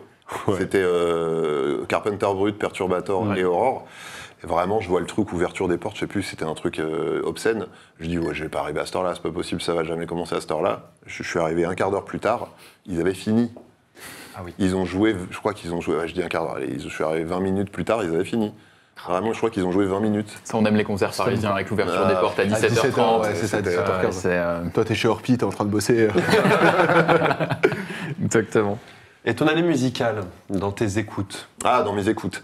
tes Euh, concerts, dans tout. ah, Dans mes tout. concerts. putain. Ouais. Alors, Tous les deux. euh, À vous, c'est Electric Callboy au Bataclan. Je crois que c'est là que je t'ai croisé d'ailleurs. Ah ouais, ouais, Ah, c'est ouais. possible. Bah, euh, en vrai, c'était cool. C'est un péché mignon, on a le droit de dire, tu vois, c'est genre. Ouais, Euh, ouais, ouais, ouais, je sais, je sais, avec Recall Boy, à chaque fois qu'on en parle, ça. mais euh, mais euh, non, non, non, moi, je crois que mon concert de l'année, et c'est marrant parce que je- si je ne m'abuse, c'était un des morceaux que je vous avais amené euh, la dernière fois. Ouais. C'était euh, Beaver, groupe euh, punk féminin Je euh, crois que japonais. Tu l'avais pas donné. J'avais pas donné On a celui-là. écouté Bob Villan et On a autre écouté chose. Bob Dylan. Ah bah lui, je l'ai je- je- raté euh, à. Non, je sais plus. Mais il a annulé, euh, il a annulé sa date parisienne, je suis dégoûté. Mais euh, Otoboke Beaver, euh, euh, ah, génial. Et alors sur scène, mais incroyable. Euh, la frontwoman, à un moment, elle avait décidé que euh, elle commençait un morceau qui était hyper péchu par un hurlement, machin et tout, et elle avait décidé qu'elle commencerait quand il y aurait le silence complet dans la salle, en mode prof de physique chimie. C'était genre, je- je- de toute façon, je commencerai pas le cours tant qu'il n'y a pas le silence dans la salle, tu vois. Elle, mais elle l'a même pas verbalisé, quoi. Mais juste, elle a attendu. T'as compris tout de suite, quoi. Et il y avait deux, trois gros beaufs euh, qui, qui gueulaient dans la salle et tout. Ils se faisaient chucher par tout le monde, etc. Chuché. Ouais, je faisais chucher, attention. Gros premier groupe là. Et, et euh, elle n'a pas commencé tant qu'il n'y avait pas le silence complet. Et quand elle a envoyé le truc, parce que faut y aller quand même, tu vois, tu te dis, euh, tu poses un truc, t'imposes le, le- le machin, etc. Derrière, t'as quand même un petit peu euh, Ouais. intérêt à envoyer, parce que aussi, ouais, sinon, sinon t'as l'air con, quoi. Bah, elle a retourné, euh, c'était le Trabendo, je crois. Euh, elle a retourné le Trabendo en, en un quart de seconde. C'était vraiment incroyable ce concert. Wow. Ouais, je, je conseille tout le- à tout le monde Mm. de- de- d'aller les voir sur scène, c'est incroyable. Et d'écouter les, les deux albums qui sont sortis juste Ouais. ici. Genre, super. Qui sont très très chouettes. tubes. Non, non, vraiment incroyable. Et non, non, vraiment, ça c'est un de mes, un de mes concerts euh, phares de l'année.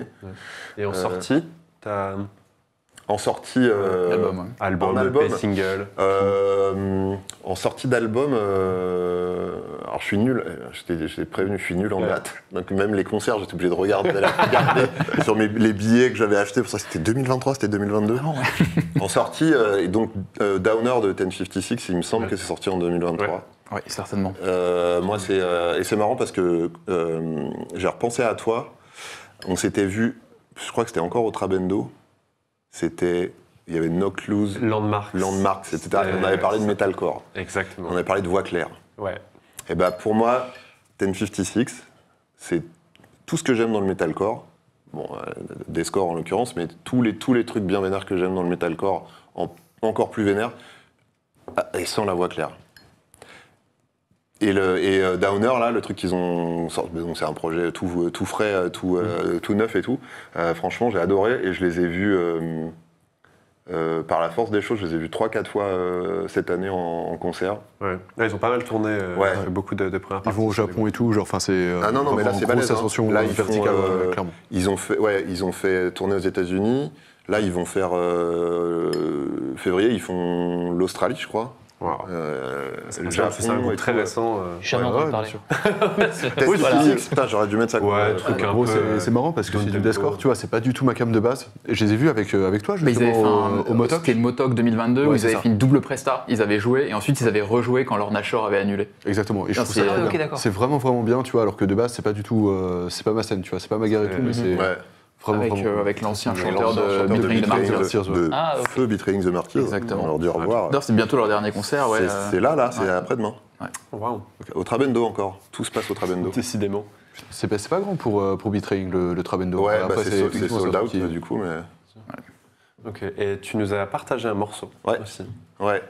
Je suis. Alors, je, me- je m'en suis rendu compte en faisant mes petits top machin et tout. Je suis assez euh, scène française euh, en 2023. 2023, avant, j'étais vraiment très, très. euh, bah, international et tout. Et je- plus ça va, mais c'est même pas par. c'est pas un truc conscientisé. hein. C'est le fait est que j'écoute de plus en plus de groupes français.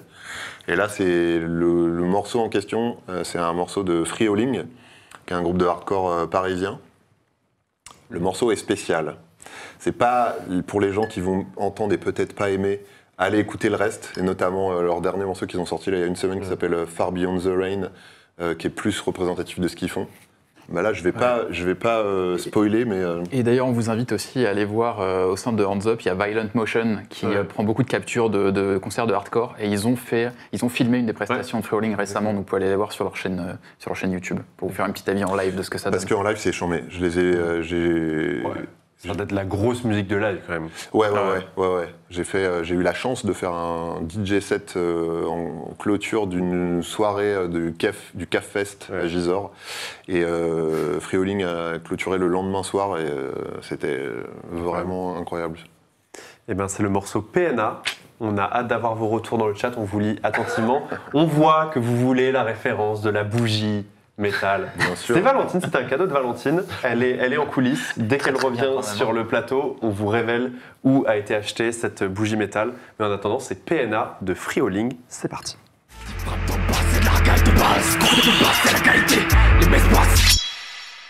Dîner en quantité Depuis que je tombé, je suis bloqué en bas Y'a trop de poison dans ma DNA Argent sale, sans facile Je suis bloqué dans le PNA PNA Je suis bloqué dans le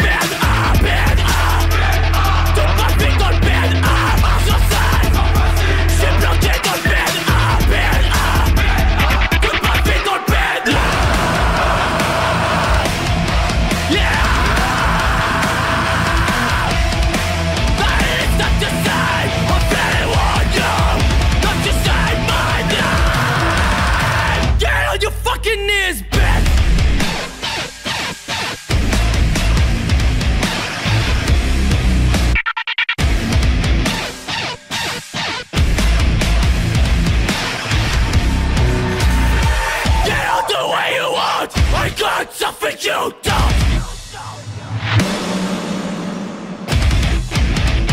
I give no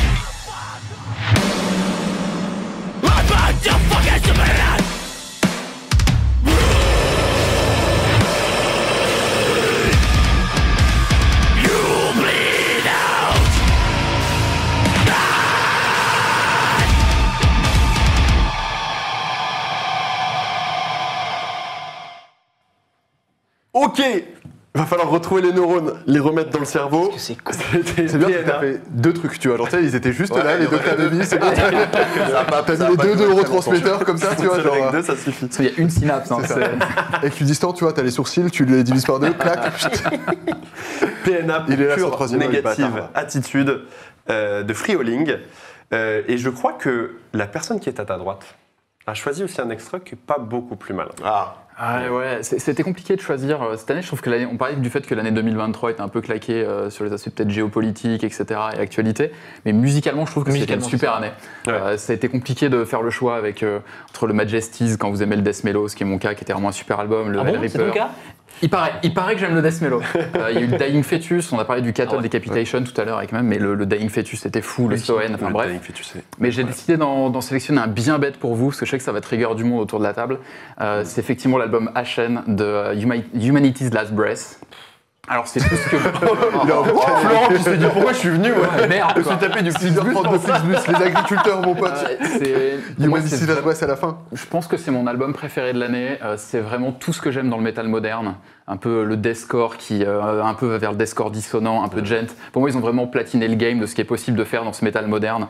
Tous les potards sont à fond. Il y en a qui vont trouver ça stupide à mort. Moi, je trouve la production exceptionnelle. Incroyable. Euh, je trouve que vraiment la prod est dingue. Euh, c'est un groupe, c'est quand même un album qui a mis un peu tout le monde d'accord, même dans des genres pour lesquels il n'y a rien à voir.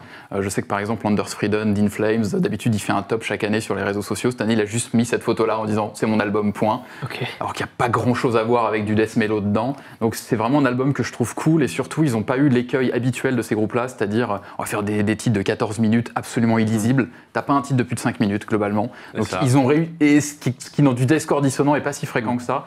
Donc ouais, pour moi, c'était vraiment une, des, euh, une de mes claques de cette année. Et si on enlève l'affiche qui sent bon la lia, bien Ah ouais, dégueulasse, c'est du mid-journey à fond. euh, ouais, si on enlève ça, pour moi, c'est vraiment un, tu vois, vraiment une gifle. Donc euh, Ouais.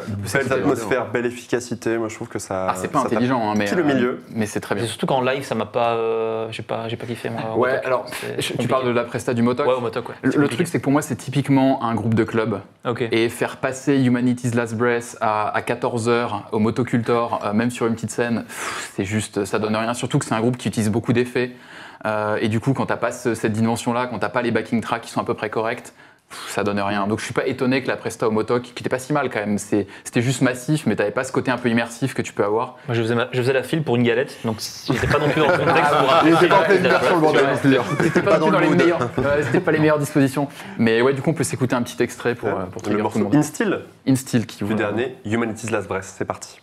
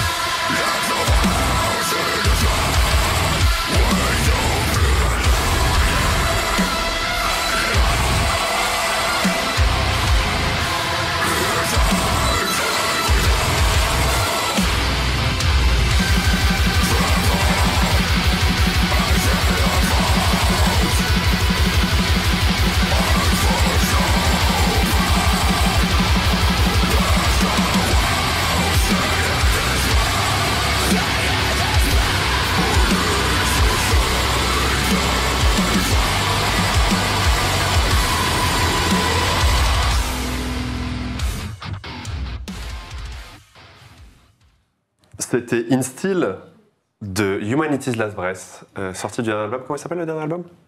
Ashen. Ashen. Très très bien. Très très bien. Moi j'avais un extrait à vous passer, mais on est encore un peu en retard. Vous nous connaissez. Je vais juste dropper. Savage Oath, groupe de heavy metal, vient de sortir son premier EP.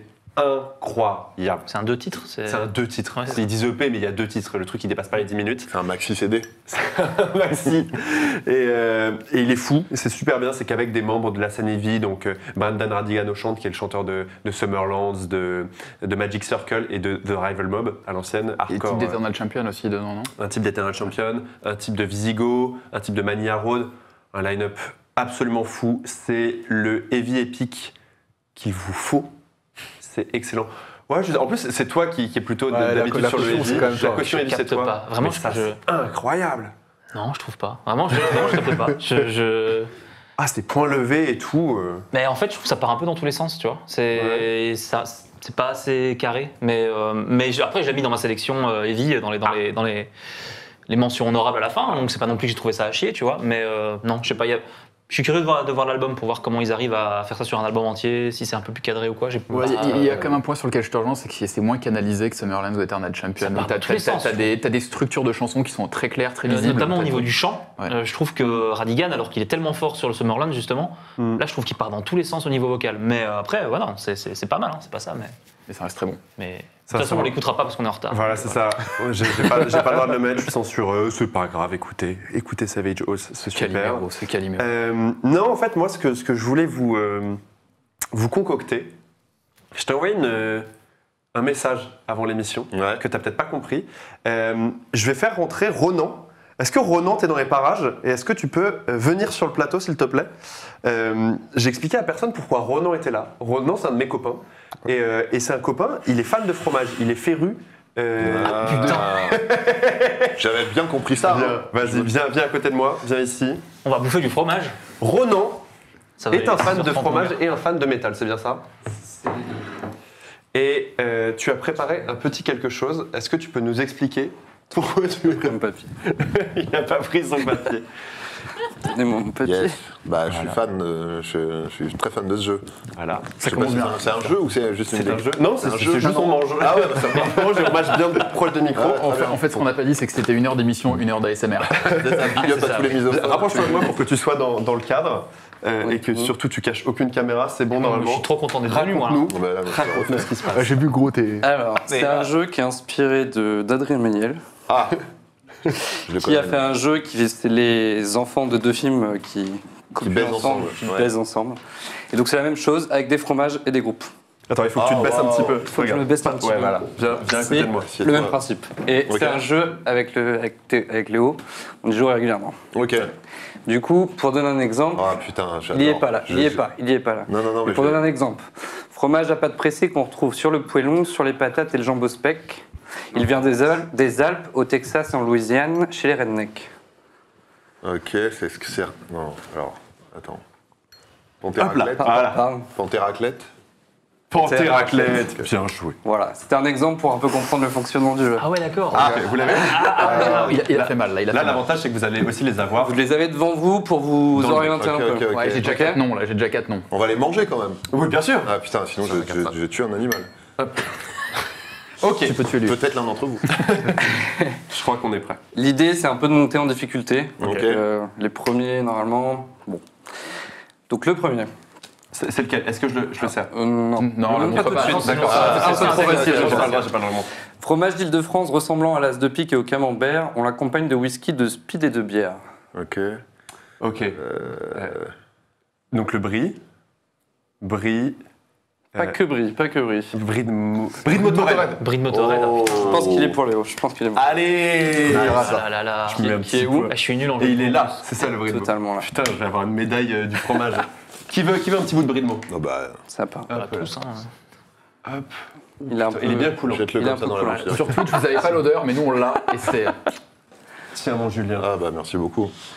C'est des, c'est des DM et des DM avec Léo pour se faire ce jeu. euh, Évidemment. Tous les groupes possibles. Brie Les de groupes motorette, niches. ça envoie quand même. Extraordinaire, Bride Motorhead, c'est parfait. Et surtout, je, je n'ai pas, je n'ai pas les réponses. Non, Voilà, Léo a pas réponse. Heureusement, j'ai préparé, mais je n'ai pas la réponse. Comment il flex Parce que j'ai eu Je que c'est juste au mais talent sans aide. Merci. Tu bien. peux continuer pendant que je sers Sur le deuxième, on m'associe à Danny Boone et à Johnny Depp. Ch'ti et piraterie, ma croûte orangée s'accompagne de bière, rhum et grivoiserie. Oh putain. Marwell Storm. Oh putain, c'était Ah oui, mais c'est le Nord, c'est le Nord, bien sûr. Waouh Je m'attendais là, pas à ça. Marouane, Marouane, mais qu'est-ce qu'il fait Personne avec. J'attendais vraiment J'avais pas à j'avais ça. les deux, mais j'avais pas le. Putain, celui-là, il est. Marouane. Celui-là, si on peut éviter de le manger tout de suite. On est Qui est encore à où, Léo proximité. Il est totalement là. Hum, elle est là, ouais. Maintenant, il est. J'y vais, tu nous dis si on entend trop euh, la mastication dans le, dans le micro, vous le dites aussi dans le chat, et, euh, et vous nous engueulez. Putain, Voilà. Marwell Storm, très très bon. Ouais, Pas non. mal, hein. Je viens de voir Attends, la pardon, Tom mais- Morello. C'est- C'est c'est- c'est pas- Mais moi, je vais jouer à ce jeu, mais. euh, tu, tu, c'est toi qui as trouvé les. C'est toi qui as trouvé les, les trucs là Ouais, Les c'est ça. fromages qui baisent ensemble C'est ça. Enfin, Putain, mais oui. Il est vraiment fan de fromage, ça. Vraiment, je suis fan de fromage, C'est de musique j'ai- Non, non, non, mais je veux dire, le Marwal Storm, putain. Ça, c'est Petite, fort. petite fierté. Donc un peu niveau au-dessus. Alors je suis un fromage à pâte pressée cuite, savoyard et canadien, à l'aise au skate, à la piscine et au ski, mais à ne pas confondre avec le comté. Ça rime pas, mais Oh merde. un Tu peux la répéter Ouais. Ouais, pas de souci. Je suis un fromage à pâte pressée cuite, savoyard et canadien, à l'aise au skate, à la piscine et au ski, Non, mais à ne, à ne pas me confondre avec le comté. Wow. Vous me dites qu'on voulait un indice en plus. Ouah, celui-là, il est violent. Attends, j'ai- j'ai Il est Marwal très, passé au très, bout du. très dur. Il est là. hein. Donc, Ça euh, compte Il est là, canadien. ouais, mais- Attends, bah si. Euh, ce qui C'est au comté de l'abondance. Ouais, c'est Bah, c'est l'abondance, ça, ça, ça, on l'a, oui, ça on a Mais, l'abondance, euh, mais euh, Ah bon. c'est pas l'abondance Non. ouais, peut-être pas l'abondance, mais. Peut-être le Cantal. Bah non, Bah parce que non, Savoyard, c'est il a dit. Savoyard. Ah ouais, Donc bah, euh, ça peut être le. Beaufort, mais euh, Ah. Oh, attends. Vous me dites qu'on indice mais j'ai pas le groupe là. Si, Beau Attends, retire, 41. retire, euh. Bossum 41. Ouais, dire c'est bon. Beau, Beau 41 ou quoi Some Beau 41. Sun Beau 41. Some Beau 41. Putain. Oh, allez, let's go. Elle est pour Léo du coup. Ici Euh, C'est celui-là. Ouais, ok. Ok, alors attends, je donne, je donne les points quand même. J'ai même pas un point pour retrouver Beaufort. quand même. Mais lui un demi. Ouais, je suis en ai Très bon bien. Beaufort d'ailleurs. Ok, je vous sers du Beaufort. Avec grand plaisir. J'adore, c'est chaotique. J'espère qu'il vient de la coopérative de Bourg-Saint-Maurice. Pas sûr. Mince. Mais le fromage vient de fromagerie de Montreuil à côté. Oh.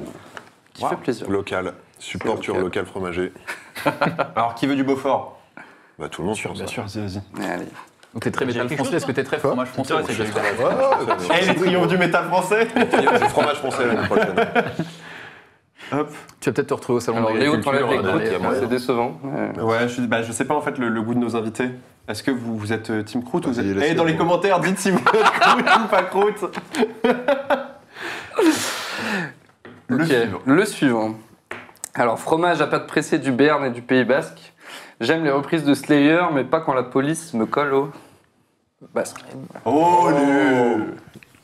Alors attends, c'est Celle-là, c'est encore un peu. fromage basque. C'est de l'osso errati. Ouais, ça c'est sûr. Ouais, c'est lui. Moi je trouve des fromages, mais je trouve rien. C'est, euh, Attends, reprise de Slayer.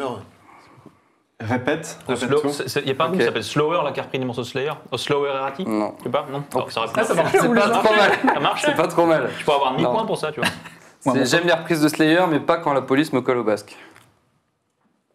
Donc je suis un groupe qui aime pas la police. Ah, attends, attends, attends, attends, attends. Non, Qui fait des reprises de Slayer Body Count, mais. Ouais, je pensais à ça aussi, mais j'arrivais pas à le caler Body la- quoi. Cantal. Ah bah. On vous approchez. C'est pas Ice-T, Ice to So Irati ou un truc comme ça Osso et Osso à Ice-T. On sort Ice-T. Ah ouais. File à moi, file à moi. C'est collectif parce que Body Count. Bon, c'est collégial, on est au- c'est les grosses têtes ou pas Ah. C'est parce que Body, Count a repris un morceau de Slayer. Ouais. Ouais. Qui refont en live aussi d'ailleurs. Mais à la base, ouais, c'est Ice-T et c'est sur euh, Judgment Night. Ouais. Merci. Je commence à vous ça. servir des plus gros bouts puisqu'on arrive euh, à la fin À du la pain. fin du Ouais, pain. à la fin, gros. Bon choix de fromage pour l'instant en tout cas. Hop. Alors, est-ce que tu veux toi aussi que le sur le fromage AOP, jamais. évidemment. Fromage AOP. Fromage AOP. Merci Léo. Qualité AOP. Le suivant. Fromage du Massif Central à la coude grise qui est à la côte. J'enclenche sta- stage dive et appel au pit par ce bon vieux Scott. Alors attends. Oh, si, euh, Saint-Nectaire. Acteur. Oh. Il est très fort. Très très chaud, très très chaud. Scott, Scott Vogel, c'est Ouais, ça Scott. Vogel. Vous avez déjà joué à ce jeu Ouais, ça l'aide un peu. Alors je peux vous dire qu'on a fait des soirées. Mais ceux-là, je les connais pas. Ceux-là, je ils sont vais, nouveaux. je, faire- je refaire ce jeu en soirée, c'est obligé. Tu sais quoi, le prochain, je participe pas. Le prochain, juste. Ouais, non, non, mais euh, tu rigoles ou quoi C'est ton heure de gloire. Allez. Et du coup, pour, terminer, fromage de C'est tout, brebis. c'est tout ce dont il a besoin de Lego Boost, cet enfoiré, tiens. Eh ouais. Fromage de brebis connu pour son bleu et son duo, qui a su mettre en valeur Alceste, Perturbator, Angman Cher et Nostromo. Roquefort. Facile. Chips Bravo. Non, tu parles plus de l'émission, C'est terminé. bien, ça. Non, je te des chips quand même. Oh, waouh, Roquefort fait- Celle-ci, elle est c'est très très bonne. C'était cadeau. On adore. Est-ce que quelqu'un veut quelque chose déjà. Moi, garde le plateau, de toute façon, je vais ramener à côté. On va manger à côté, nous, t'inquiète pas. Putain, c'est vrai que vous partez, mais je vais me dépêcher. Très très bon jeu en tout cas.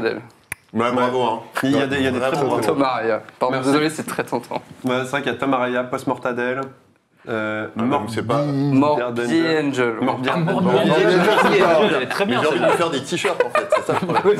On est d'accord, on est d'accord. À l'époque Guélon. Et Gwen Metalfly qui dit ça commence à sentir le vestiaire dans le studio ou pas Voilà. Ouais, globalement, ouais. Ça sent un peu les gants de boxe, ouais. Merci, Merci beaucoup. Merci. Bravo surtout. hein. Ça fait plaisir. Bravo. Round of applause. Euh, ok, moi j'en étais où, moi Euh, Bah merci à toi, Julien, d'avoir été là. Je veux juste dire un truc avant de partir. Je veux dire deux trucs. D'abord, la dernière fois quand j'étais venu, Ouais. j'avais parlé de quelque chose. Peut-être que tu te souviens pas. Vas-y, dis-moi. Peut-être que tu te souviens pas. Non, je vais pas le dire. Tu, vous allez réfléchir pendant euh, nos invités suivants. Et si je reviens à la fin, je reviendrai avec si vous avez trouvé. Ok. J'avais parlé de quelque chose qui t'avait un petit peu excité. Oh putain, oui, c'est bon. J'en ai ramené. Bien sûr. Ah là là, Voilà. mon vieux. Donc il vaut mieux attendre la fin, je pense. Ouais. Euh, et la deuxième chose, c'est que le, je vois que tu as un sticker Force et Houblon. Ouais. Le mois prochain, je sors deux bières avec euh, l'ami euh, JV de Une bière et JV, Ouais. qui sont des bières métal. Ok. Parce qu'il y en a une qui s'appelle la Black Metal et une qui s'appelle la Glam Metal. Ouais. Euh, Ça te parle, ça, la glam métal. J'ai vu ton regard s'ouvrir d'un coup. C'est parce que je le regarde bouffer son fromage tout Pardon, seul. oui, devant excusez-moi, moi. il y a- Il a trop faim, vas-y, file-lui-en euh, C'est une cata, quoi. Et euh, je suis assez fier de, euh, de, de la DA. Et euh, alors les bières, je les ai élaborées avec, euh, avec, euh, avec JV. euh, JV. Euh, mais je les ai pas encore goûtées. Je les goûte la semaine prochaine. Je fais un événement euh, parisien, puis un événement lillois bah, le soir de, de, de la Projo des Triomphes euh, du métal français à Lille. Je vous enverrai une, quelques, quelques canettes et je vous enverrai la date du, de l'event. Ah ouais, mais non, attends, mais ce sera. L'event, c'est d'ici trois semaines, donc il n'y aura pas d'émission euh, d'ici là, je pense. Non. Non, bon, Mais par contre, Je vous enverrai, les, ouais, je vous c'est ça. enverrai les, je vous enverrai les trucs et vous viendrez. euh, Vous Avec- viendrez Avec grand plaisir. Grand plaisir. Ça nous fait très plaisir. Et surtout que c'est aussi grâce à toi qu'on est là. Parce que c'est Oui. toi qui nous as mis en contact avec le Studio 17. Et nous t'en sommes extrêmement reconnaissants. Éternellement. Bah, avec plaisir, vraiment avec plaisir. Merci en tout cas d'être passé, d'avoir fait le deuxième segment. Merci d'avoir mangé des fromages avec nous. Moi, je vais aller me laver les mains. On se fait un petit clip de pause entre, euh, avant la prochaine section. Euh, C'est un clip de Fange, nos, nos- nos amis bretons de Fange. C'est le clip de Sans Vinaigre euh, qui a été réalisé par euh, les Furtifs, donc Corentin et Mathias. Mathias qu'on a reçu dans l'émission également. Euh, ne partez pas, il dure 5 minutes. On se revient après avec les mains propres euh, et davantage de fromage dans le bidon. A tout de suite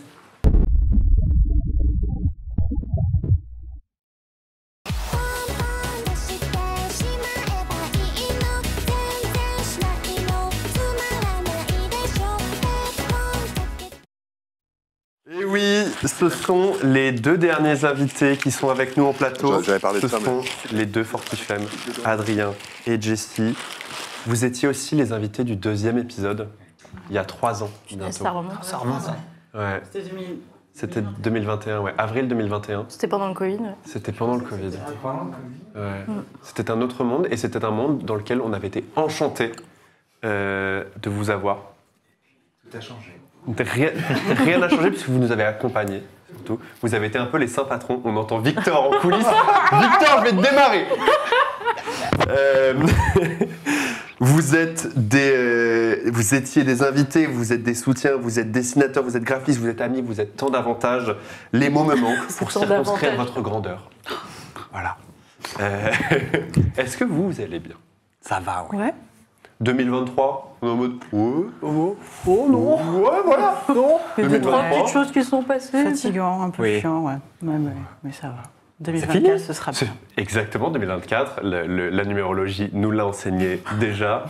Tout sera bien, tout ira bien.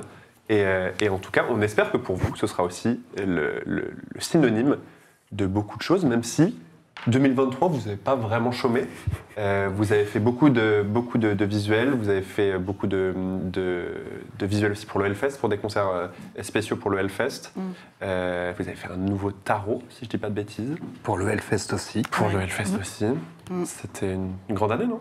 En termes de réalisation, en Ah tout oui, cas. oui, oui, non, c'était. euh, C'est une année qu'on a passée euh, qu'on a passé euh, sur un toboggan. Ouais. Donc euh, on était euh, tous les jours avec, avec, avec 10 projets d'avance et deux de retard. Et... Mais ça l'a fait. Il y en a un plus qu'un autre dont vous êtes fier ou dont vous aimeriez euh, Mmh. et qui aujourd'hui vous.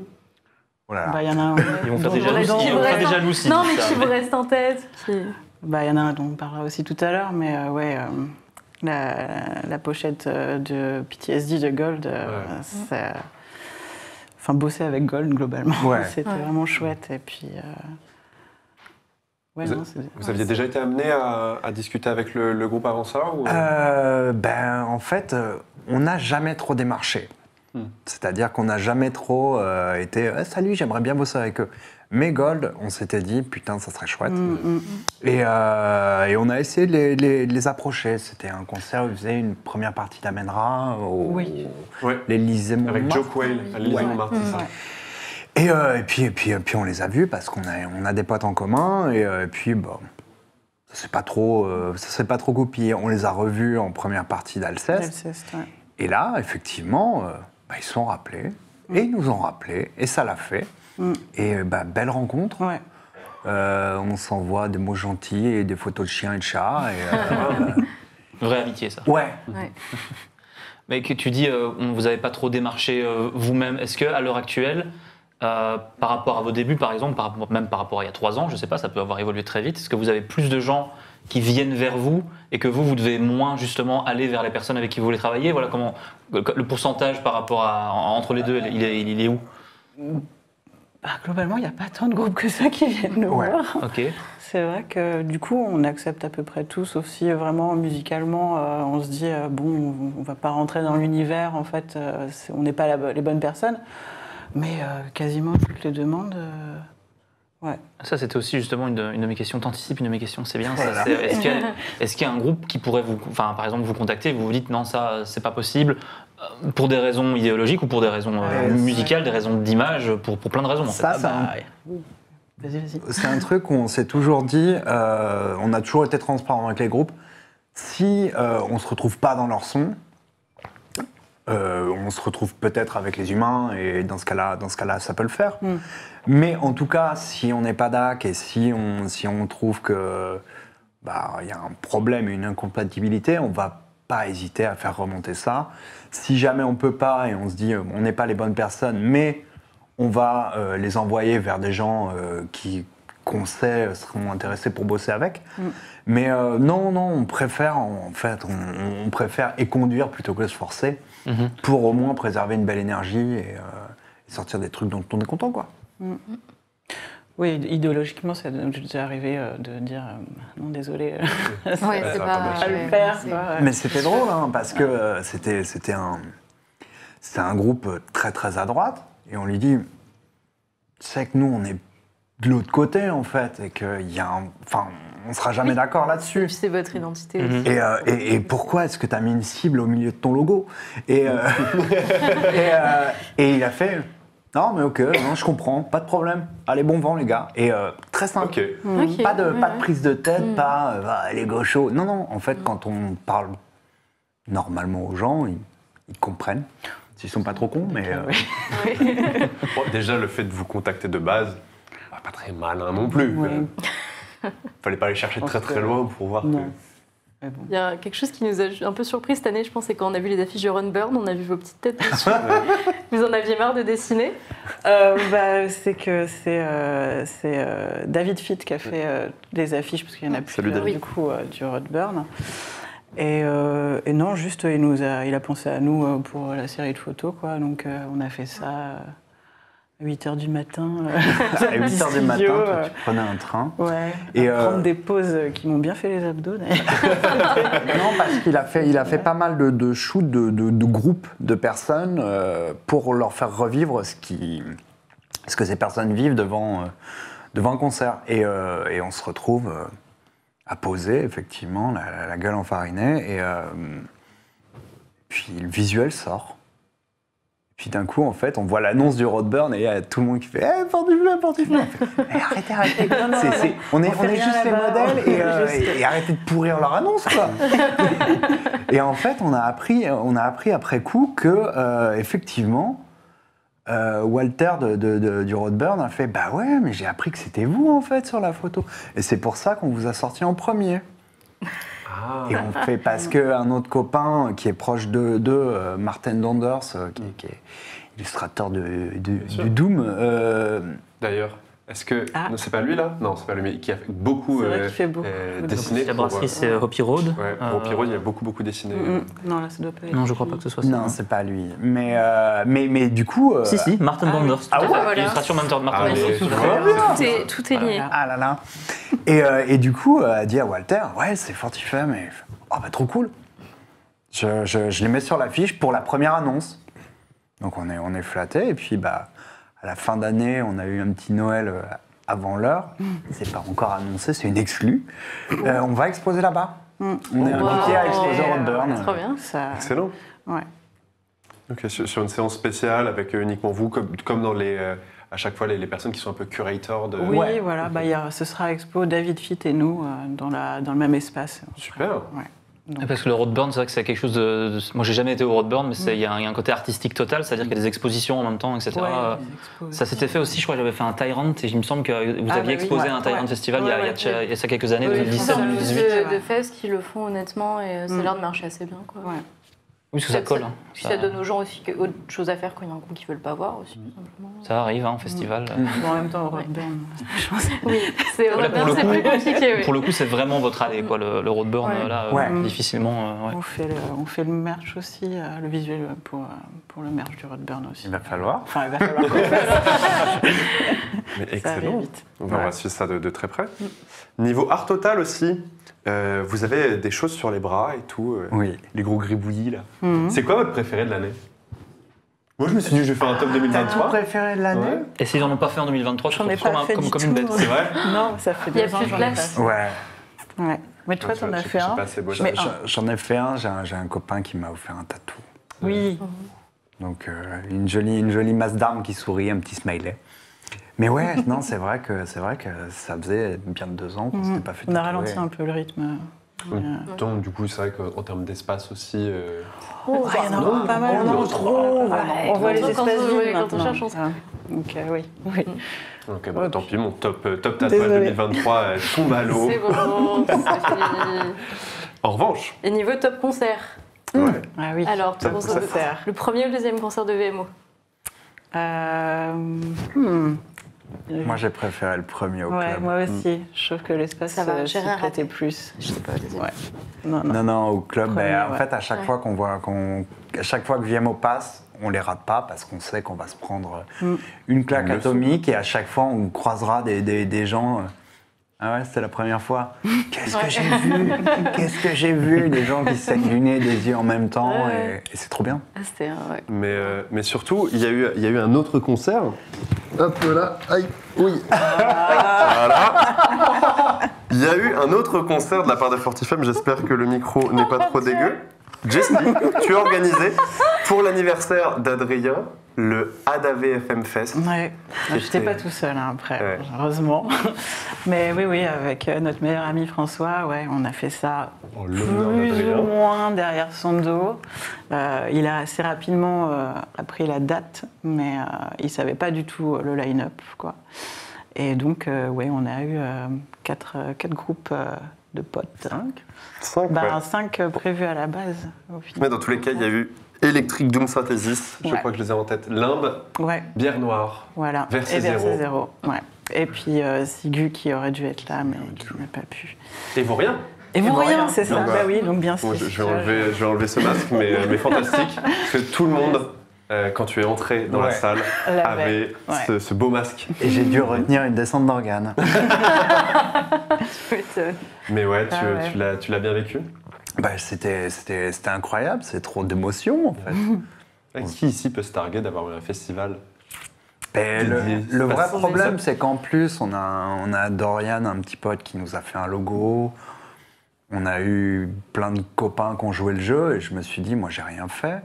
J'ai- j'ai- J'hésitais en fait à, à organiser un concert. J'ai fait ça, j'ai fait ça il y a Parce- mes 30 ans. Oui, pour les 30 ans, J'avais on fait, avait fait- jouer. il y avait euh, Perturbateur. non, non, pour les 30 ans, c'était Jessica 93 à la, à la Ah Mecca. oui, c'est ça. Euh, ensuite, on avait fait un anniv un petit peu surprise, euh, enfin un petit concert un petit peu caché avec, avec, avec deux potes, deux autres potes. On s'était retrouvés à organiser un. On avait Perturbator, on avait Paul de, de, de, de Mondkopf, Mondkopf, ouais. Euh, avec son projet Extreme Precautions, et on avait Panteros. Mais on a fait ça à la Mecca comme des sauvages, et on s'est dit, on veut pas que leur booker leur tombe dessus, on veut pas qu'il y ait trop de monde qui vienne de derrière, on les a fait jouer sous des faux noms. donc, euh, donc Panteros devenait Tigrou, Ouais. Perturbator s'appelait, je sais plus, Disruptor ou un truc comme ça. comme ça. Extreme Precaution s'appelait Aftercare ou un truc comme ça. Et ouais. Et euh, je me suis toujours dit, allez, pour les 40, on va peut-être faire un truc. Eh ben, j'ai rien fait, Bah, j'ai eu un concert Tu quand même. dégonflé et puis bah, du coup. Ce, ce tu ADAVFM, c'est devenu un gimmick sur, sur Twitter. Je te suis sur Twitter. euh, je- Désolé. Je te, je te remercie, je te remercie d'ailleurs pour pas mal de découvertes via euh, notamment un, un des trucs que je pourrais mettre dans mon top 3, je pense, c'est euh, Homefront. Euh, leur album était incroyable, euh, Games of Power. euh, mais euh, voilà, je, de punk pas mal d'écoutes. euh, alors, je vais pas dire que j'aime tout ce que tu partages non plus. Il y a beaucoup de choses. hein. tu partages beaucoup trop de trucs pour que j'aime tout. Il y a un moment, euh, j'écoute même pas tout. écoute. Ouais, oui, Euh, mais en tout cas, ouais, c'est, tu t'es pris au jeu de. T'as, t'as sûrement, je pense, que t'as créé une- un truc Spotify aussi. euh, Non. que tu as- Non, ou non, pas non, moi je, je, je- j'ai juste un iTunes qui dégueule et. euh, Ah ouais, ok. Mais non, non, je, je stream pas beaucoup. Et puis en fait, à chaque fois, sur Spotify, je trouve pas les trucs. Parce que, parce que j'aime, j'aime trouver euh, cet Ukrainien nauséabond qui partage un truc sur Bandcamp, mais on le trouve pas sur Spotify. Donc, Parfois euh, pour des très bonnes raisons. ouais. Et là, tu sépares l'homme de l'artiste, il n'y a pas de Ah problème. non, non, non, nauséabond, je parle de son hygiène, pas de ses Mais le, le- le morceau, euh, parce que vous, vous nous avez envoyé une petite sélection de morceaux, mais il n'est pas ukrainien. Il est polonais pour toi. Il est polonais. C'est euh, le groupe Gruzia, qui a, ça veut dire Géorgie en polonais, qui a sorti. En euh, russe son- aussi d'ailleurs. Ah. Gruja, ça veut dire. euh, Super. ça veut dire- Voilà, comme ça vous le savez. Enfin, Le chat, prenez des notes. Ils ont sorti euh, leur nouvel album que je prononcerai pas parce que je veux pas l'écorcher, qui veut dire la fin des vacances. Euh, ils l'ont sorti cette année et euh, c'est un, c'est un collectif qui m'embarque à, à chaque fois. Je crois qu'ils sont de, ils sont de Cracovie. Et, euh, et en fait, ils sont répartis dans, dans peut-être une dizaine de groupes. Ah, Ouais, c'est les gars qui font plein de trucs expérimentaux là. Ils font euh, Odraza, ils ouais, font Odraza- Masmor, Odraza, c'est ils font. Totenmess. Et, et, euh, mon projet préféré d'eux, c'est euh, Biessi, Ouais. euh, dont euh, la chanteuse euh, chanteur, chanteuse et une drag queen. Et qui fait une espèce de, de- de- de black metal euh, électronique absolument fou. Et ça, euh, qui est un album qui va dans tous les sens et qui me fout les, les- les- les- des, des coups dans le bide à chaque fois que j'écoute. Et je me lasse pas. Ok. Et tu as choisi comme extrait le premier morceau, Jérusalem Shore, dont on peut écouter un extrait tout de suite, si ça vous va. C'est Grusia, euh, Jérusalem Shore.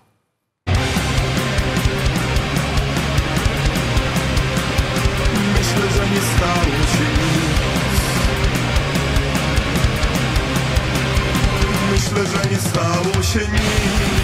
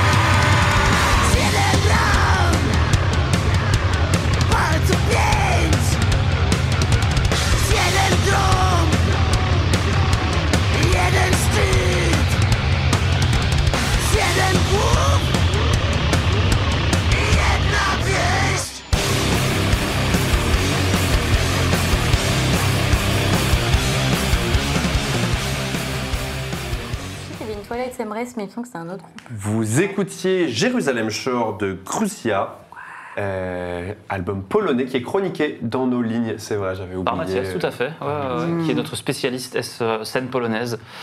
Euh, parfois, je crains pour sa santé mentale parce qu'il écoute beaucoup de trucs comme ça. Et à un moment, si tu écoutes ça à longueur de journée, tu deviens fou. Entre les Polonais, Ouais. les Slovaques et euh, Ouais. le.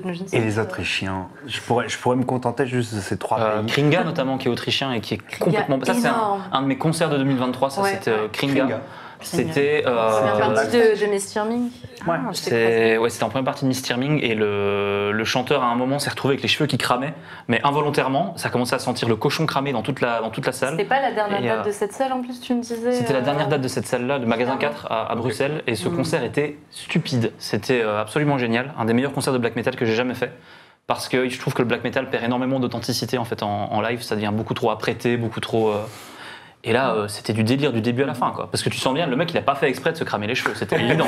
Il s'est passé quelque chose pendant le concert, il s'est retrouvé avec les cheveux en. Et il a commencé en fait à, à se. Enfin, il a, il a chopé des ciseaux, il a commencé à se couper les cheveux Voilà. et acheter des. Les- C'était n'importe quoi. C'est mieux qu'une setlist. C'était- n'importe quoi. Mais bref, Kringa, si vous avez l'occasion de voir Kringa en concert, Ouais. ça Même, tombe pas même mal. sur album, hein. je crois que je l'avais Sur album, c'est pas mal. pas chroniqué, mais j'avais dû le caser dans un article. Dans, la, dans une série noire, ouais, sûrement. C'est un côté euh, sarabande vampirique euh, beurré. Son, son, son, son- il a pas mal de projets qui me rendent fou, euh, que ce soit euh, enfin, parallèle. Euh, Rosanable aussi, Peace Waltz, euh, Parasite Dream, qui sont que des, des, des, des- des projets très très black metal punk ou euh, plus électronique. Et à chaque fois, ouais, non, je, je reviens, je reviens dans ces groupes-là. Je suis, c'est pas possible que tous leurs groupes soient bons et qu'ils en aient autant. Eh ben, si. Au final, le plus classique, c'est peut-être Odraza, parce qu'il me semble qu'ils font vraiment que du black metal. Enfin, c'est Ouais. assez expérimental et tout, mais il n'y a pas d'électro, il n'y a pas de. J'étais euh, ouais ouais ouais j'étais tombé sur sur Odraza sur la première pochette qui, qui, est, qui est une femme sur le sur le, sur tête, le flanc non non, Ah non. une femme avec avec des mégots et des cendres sur les seins et euh, je, je me suis dit ça je vais bien aimer effectivement c'est Ouais. Il y a quelques Plein- clients dans le, dans le chat à- aussi. euh. est-ce que vous vous sentiriez de, de démarcher des groupes de cette scène-là euh, où c'est trop, c'est trop pété Mm. comme, comme image pour, pour créer de- du visuel autour de ça, par exemple? C'est pas que c'est trop pété, mais je pense qu'il y a une empreinte culturelle qui Ouais. est tellement Uh-huh. profonde. En fait, là, ils ont bossé avec, euh, avec Bielak, qui est, qui, est, qui, est, qui, est, qui est un copain, et qui est polonais, et qui est pote à eux, et qui partage le truc. Ouais. Et moi, j'aimerais bien, on peut faire du merch, et il n'y a pas de problème, je serais très fier. Mais j'ai peur que euh, l'empreinte culturelle tombe un petit peu. Ouais, de rentrer dans ce microcosme et dans ce. ouais. J'ai pas, j'ai pas envie de taper à côté si, je, si, si, si on bosse euh, avec eux, quoi. Je comprends. Non, c'est ça. Toi, ton, ton choix de Jessie était un peu, pas du tout, dans le même univers. Du tout, non. On en, on en parlait tout à l'heure. Ouais, ouais, ouais, Euh, ouais, ouais, c'est Gold. euh, donc, euh, bon, en plus, c'est même pas un album. Pas métal, c'est pas un album. Tu dois prononcer les euh, 3G et les 3D, s'il te plaît. euh, Sinon, tu peux pas mais, mais ouais, ouais, c'est leur EP euh, PTSD euh, qu'ils ont sorti euh, là cet automne. Et euh, ben, juste euh, la direction qu'ils ont décidé de prendre et euh, les nouvelles versions qu'ils ont fait de, précéd- de deux précédentes chansons. euh, euh, bah, quand euh, on l'a, euh, bah, du coup, on l'a reçu un peu en avance parce qu'on a fait la pochette. euh, La première fois qu'on l'a lancé, euh, enfin, je sais pas, j'étais sur le cul, quoi. En fait, c'est juste, c'est, euh, c'est carré, c'est intense. Milena continue à essayer de, de traverser ses traumas et d'en guérir. Et, euh, et elle le fait d'une façon qui est euh, tout autant personnelle, mais qui en même temps euh, peut vraiment résonner quoi, avec Ouais. euh, les gens qui écoutent. Quoi. Enfin, J'ai très hâte euh, Ouais. De, les voir, euh, de les voir jouer euh, ça euh, sur, euh, en live. Quoi. Parce que du coup, vous aviez fait la pochette, mais sans avoir écouté les morceaux. Ah, justement, si, si, on a, on a écouté les morceaux. Vous avez fait toute une série d'artwork aussi, parce qu'il y avait plusieurs. euh, Bah, plusieurs il y a eu le premier tout. single, euh, Highlight euh, My Hair Grow, euh, un peu avant. Et euh, à ce moment-là, quand on a fait le single, on savait pas qu'il y aurait un EP derrière. Ok. Et puis bah, là, après, puis ils sont venus avec, euh, du coup, euh, c'est c'est eux qui avaient vraiment le brief sur la pochette, euh, sur l'univers et tout. Enfin, on s'est dit, ouais, vous. Enfin, je sais pas, c'est super Ah, cohérent euh, le chemin qu'ils prennent. C'est habituel que les groupes. oh, Excuse-moi, vas-y. Non, euh, non, mais juste, je trouve que la pochette, c'est assez intime, je pense, de, de ouais, dessiner quelqu'un comme ça, de vraiment, parce que on la reconnaît, quoi. Mm. C'est- Depuis. Et puis ça, c'est délicat, souvent, Ouais, c'est des, délicat. des- des c'est habituel que les, que les groupes vous, vous fassent écouter la musique en avant-première pour que vous puissiez faire votre art autour de ça Ou parfois vous faites un peu à l'aveugle euh, Bah, le- Ça dépend du timing. Ouais, ça dépend, mais c'est quand même assez souvent qu'ils nous envoient en amont, mais bon, ça arrive qu'ils puissent pas. hein, mais euh, c'est vrai que, bah, par exemple, euh, enfin, je pense que Alceste, on pourrait absolument pas bosser pour eux si on n'entendait pas euh, Mhm. euh, en amont. Euh, mais Après, vous connaissez euh, la musique qu'ils font avant, mais Ouais. parfois, par exemple, un album prend une direction différente et du coup, l'artwork doit peut-être être un peu différent de ce qui s'est fait avant et c'est intéressant d'entendre la musique, quoi. Quand on s'est mis à celui-là, sur celui-là, on en a écouté, je crois, peut-être deux, tracks ouais, sur cinq. Ouais, ouais, ouais. Mais, euh, mais on avait quand même l'histoire que euh, Oui. il voulait. euh, L'origine, c'était, c'était, c'était voilà, Milena est survivante au milieu de, de- de la dévastation et a appris euh, un peu post-apocalyptique. On verrait bien Milena comme une bête euh, euh, entièrement couverte de, de- de fourrure et, et- et trucs comme ça. Oui, c'est vrai. que Non, mais ça, c'est Verticène. Je suis arrivé tout à l'heure là avec mon Flixbus. Mais, euh, vu, je te l'ai dit. Il y a- parce qu'il y en avait une version, et en fait, la première version, euh, ça ressemblait plus à, à DiCaprio dans The Revenant. euh, Ouais, ouais, c'était complètement- entre ça et Princesse Mononoke, quoi. Ouais, un peu. Et euh, puis, au bout d'un moment, euh, non, il y a une empreinte, euh, il y a eu une petite, euh, un petit chip de, de, de, de brief. Hmm. Et euh, on était plus mode. On a, on a commencé à s'envoyer des. des-. Ouais, ouais, ouais, mais on a, voilà, on a eu, on a eu euh, des fleurs et, euh, et du Yamamoto et des trucs comme ça dans, la, dans les. Björk aussi. Et Björk, et, et puis on, on lui a. On, Mm. on a réorienté. Mais ouais, c'est hyper délicat. En plus de dessiner quelqu'un, ah, je me reconnais pas, ou euh, j'ai l'air j'ai l'air trop sympa, trop méchant. Et en fait. euh, tu sais que tu as bien réussi le truc quand tu vois la chanteuse qui le met en photo de profil. Ah oui. Ouais. Ah bah oui. Ouais, c'est très bien. Bah, du coup, on peut s'écouter le- l'extrait. Donc, euh, c'est euh, une partie de He Is Not, du coup, qui était déjà sur l'album d'avant, enfin sur l'album, et qui est là, donc une version retravaillée, un peu plus sombre et industrielle. Mm. Euh, c'est parti, He Is Not, la version PTSD. You see me smile,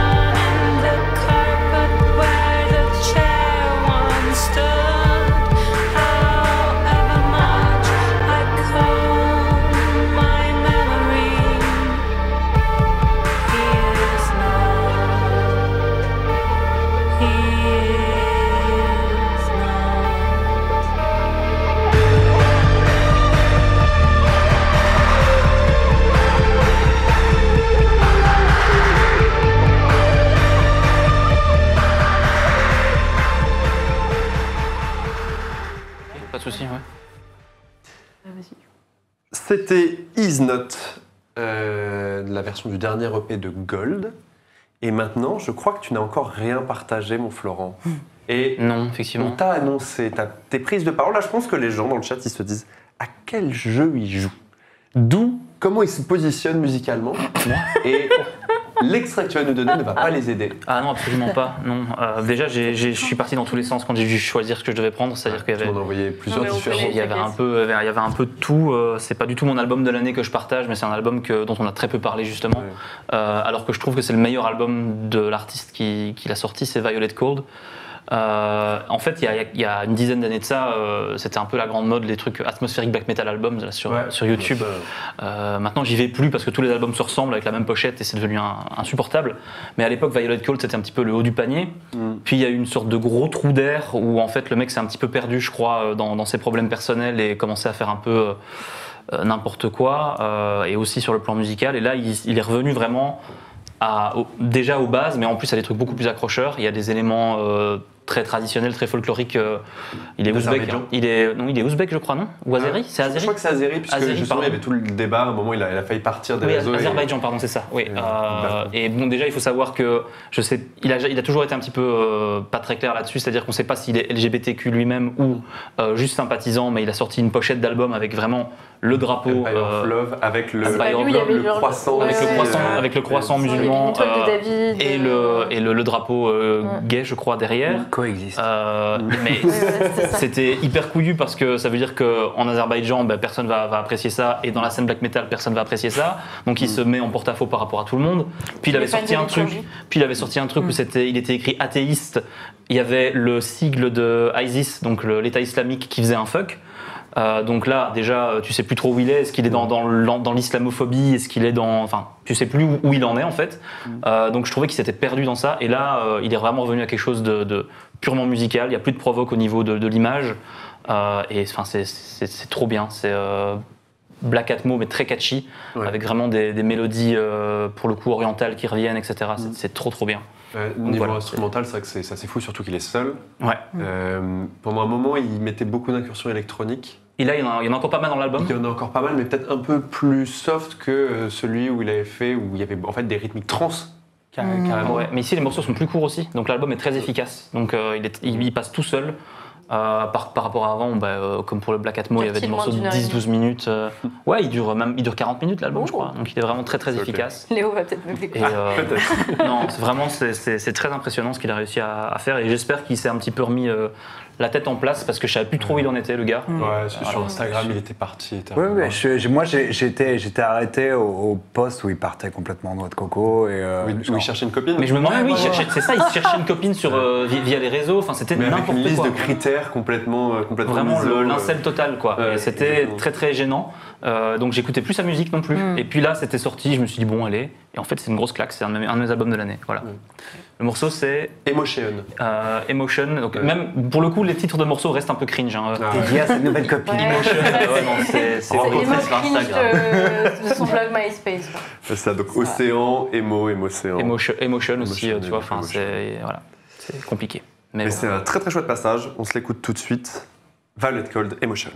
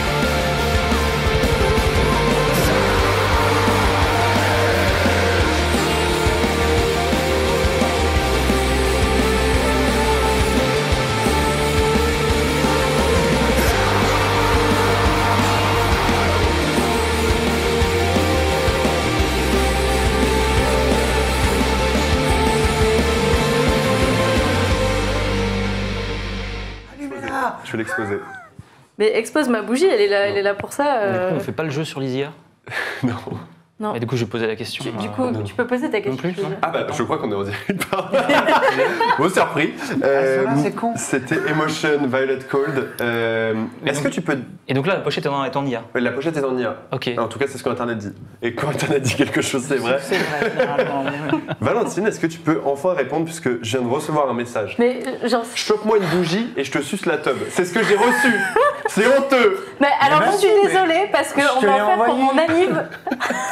Ah, donc tu sais pas en fait. Mais non, je sais pas, on me l'a offert pour mon anniv parce que j'ai plein de bougies chez moi et j'adore allumer des bougies, mais je vais pas allumer ça chez moi. Bah, Mais le problème, c'est que que ça ça elle va servir à quelque chose, je vais l'amener à l'émission. Mais Voilà, c'est un peu le verre de d'enfant Hanser. Bah oui, c'est vrai que Voilà, peu tu vois. Puis après, ça va fondre, il y aura plus de doigts. Oui, parce qu'elle elle n'a d'intérêt que complète cette Mais bougie. oui, c'est ça. Moi, j'ai vu, il y a- une. Il y a, il y a- il y a une fonderie qui fait des, des- des- des bougies, des bougies religieuses. Et en fait, tu, tu, tu vas pas allumer une statue de la Vierge et lui faire fondre la tête en premier. Je trouve ça très bizarre. Mais C'est un très beau symbole. Donc, euh, je suis désolée, mais euh, je ne peux pas vous dire d'où vient cette bougie. Il trône au Je me depuis- renseignerai pour la, la prochaine émission. Merci beaucoup. Euh, donc, je devais vous faire au départ un jeu, est-ce que cette pochette est IA ou pas? Puis en fait, j'ai je commençais à faire des recherches et ça m'emmerdait. comment ça déprime Et en fait, moi, ce que j'aimerais, c'est que euh, déjà, euh, le plateau puisse être un peu plus rempli. Je vais demander aux anciens invités, ainsi qu'à Mickaël et Victor, de venir sur le plateau. Je veux, je veux un vrai All-Star. Euh, rentrez, rentrez. Et euh, Est-ce qu'on ramène le plateau de voilà, fromage aussi revenez, ça, je veux bien Le ça. bris, vous m'avez laissé du que- bris, s'il vous Il est connecté Vous avez- vous avez tout fait Ça y est, ouais, a priori. Ok. J'ai plus de pas marmotte non plus. Ton, je pense qu'il faut. Je remets Alors, on va tester. Oh, il y a, il y a la liqueur. C'est la liqueur de C'est la liqueur de rillette Alors, La attendez. liqueur J'en de ai offert une bouteille. Ah oui, c'est vrai, la liqueur Ok, de c'est bon. Ceci fonctionne. Putain. Je vais vous expliquer un principe très très simple. Alors, je crois que je vais C'est regarder sur le, sur le retour. Tu crois que je suis trop Euh, grand, c'est on ça te voit un petit peu. Je sais. Voilà, Allô, allô. essayez de Putain. globalement qu'on vous voit tous. Hop, si on change la Des câlins. Il va falloir que tu te baisses. Julien. Oui, Voilà. tu sais, j'ai des vieux genoux, moi. hein. Oh là là, vous C'est les souvent les grands Et- derrière. Non, non, tout Vous va te bien. décalez un petit peu sur la droite, parce que là j'ai juste son crâne qui me cache le torse. Donc, c'est euh, droite, ouais, là vers Valentine. À gauche, quoi. Ouais, du coup la gauche. Tu signes un peu avec la gauche et la droite. Ouais, j'ai vraiment du Je mal. suis toujours à gauche sauf Et pas. Ok. C'est un casque Bluetooth. Jusque-là, vous nous suivez. C'est Valentine qui a donné l'idée de ce jeu. Elle a vais fait un le blind regretter. test. Vous allez vraiment le regretter, mais tous. Euh, en fait, vous allez mettre ce casque sur les oreilles. Dans ce casque va être diffusée une musique très connue de métal. Vous allez devoir chanter, chantonner le riff, et uniquement le riff, Je suis en train de tous les sauf que vous ne vous entendez pas. Et les personnes autour de la table vont devoir trouver euh, quel riff de métal c'est. On vous a pas pris des trucs, on n'a pas pris Grussia, on n'a on a rien pris de. de- Oh, Du bordel. gros jet bien Pardon. dissonant, tu sais. Personne ne sait ce qu'il y a, parce que je l'ai je l'ai composé avec. euh, c'est tout caché. Parce que je déteste ce jeu. C'est taper des gros Florent et tout, tu vois, genre il est là, mais. On va ramener le fromage. Je disais l'émission dans sa globalité. Oh là là. Tu vas commencer parce que c'est c'est ce qui a été déterminé par, euh, L'IA. par l'IA. GPT. Euh, je vais te faire un petit test et tu vas me dire si tu entends ce que tu as dans les oreilles. Tu entends? Ouais, mais ça, je saurais pas faire à la bouche. Non, non, non, non, c'est c'est Poison the Well, c'est ce que j'écoutais en venant. Ok. Tu vas devoir chantonner le riff. Et vraiment, le riff, je ne veux Je pas de regretter. chant. Oh là là. Non, mais il y a Le premier, c'est parti. Essayez de trouver le riff chantonné par Florent. C'est affreux. Skip token. Vraiment du prout. Il n'y a, pas de riff là. Mais... Bah, c'est- oui, c'est l'intro. Hein C'est là. Il y a toujours une intro. C'est bon au niveau volume? Ça va, ça va. Bon bah cool. Le générique de James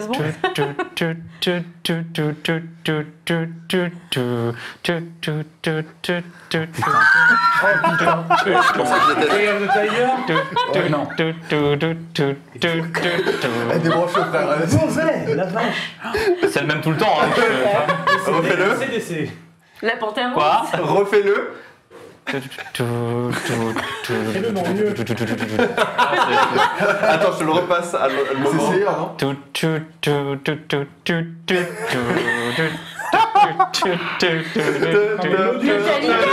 non Non, en vrai, le riff est connu. Je sais pas le faire C'était un groupe de heavy metal Judas Priest. C'est Judas Priest. Oh. C'est Painkiller. Ah, d'accord. C'est Painkiller. Le savant, Par contre, si je faisais le riff de batterie à la base, c'était trop facile ça. Ok, bah vous allez voir à quel point du coup c'était pas facile. Ils ont trouvé dans les chats Avant trop critiquer. Dans le chat, dans le chat, ça a été trouvé. C'est Gwen Metalfly. Merci. Incroyable. Euh, il a trouvé Painkiller. Ok, tu vas donner maintenant le casque à Michael. Oh merde. Michael, normalement, si tu le mets là, tu entends Painkiller. Tu confirmes Ouais. Ok. Et ça, c'est la suite. Tum, tum, tum. Tum, tum, tum. Tum, tum, tum. C'est un AVC, je pense. Tu vois, Ah, c'est Metallica, euh, c'est. euh, Putain. Non, c'est Battery. C'est Battery C'est de Metallica. Waouh. Il y avait un petit côté générique de Game of Thrones. Merci, merci. C'est le moindre de mes problèmes. Bah, c'est- l'acoustique du début de la batterie. Bah, si- S'il avait dû faire celui avec le, riff au début, il- je crois qu'il aurait vraiment fait un AVC. Ça aurait été dur, ça aurait été très dur. Il y a Altoul qui dit la guitare est mal accordée, c'est pour ça qu'on Bah, bien sûr, bien sûr, je suis en fa dièse, là, c'est chaud. Mais euh, Victor, Vas-y, let's go. c'est ton tour. C'est sympa, hein, c'est pas nous qui passons. Ouais, ouais, ouais, ouais, mais je pense que. non, je crois qu'il- je crois Le que meilleur c'est pour la c'est que nous les victimes. Ah, c'est que vous les victimes. Victor, est-ce que tu entends Metallica Putain, ah, j'aime C'est mieux bon ce jeu là, tout d'un coup. Attention, prochain.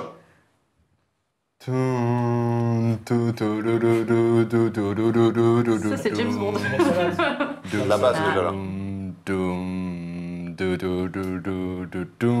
C'est Electric Wizard. ça. Oui, c'est C'est. Electric Wizard. Funeralopolis. Dis ça. Mais ils ont que un, ils ont que un riff Electric Wizard de toute façon.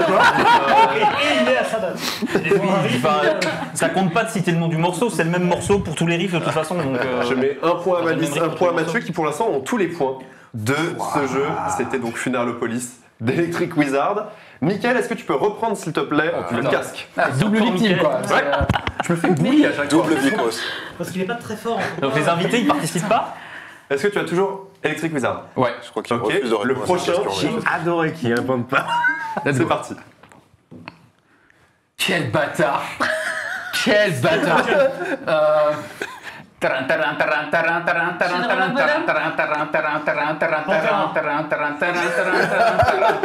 c'est pas terrain. Non, non c'est pas terrain. C'est pas Quel bâtard. Il a juste choisi le pire groupe possible pour jouer ça, on est d'accord Meshuga Ah, Meshuga, c'est Bleed. C'est Bleed de Meshuga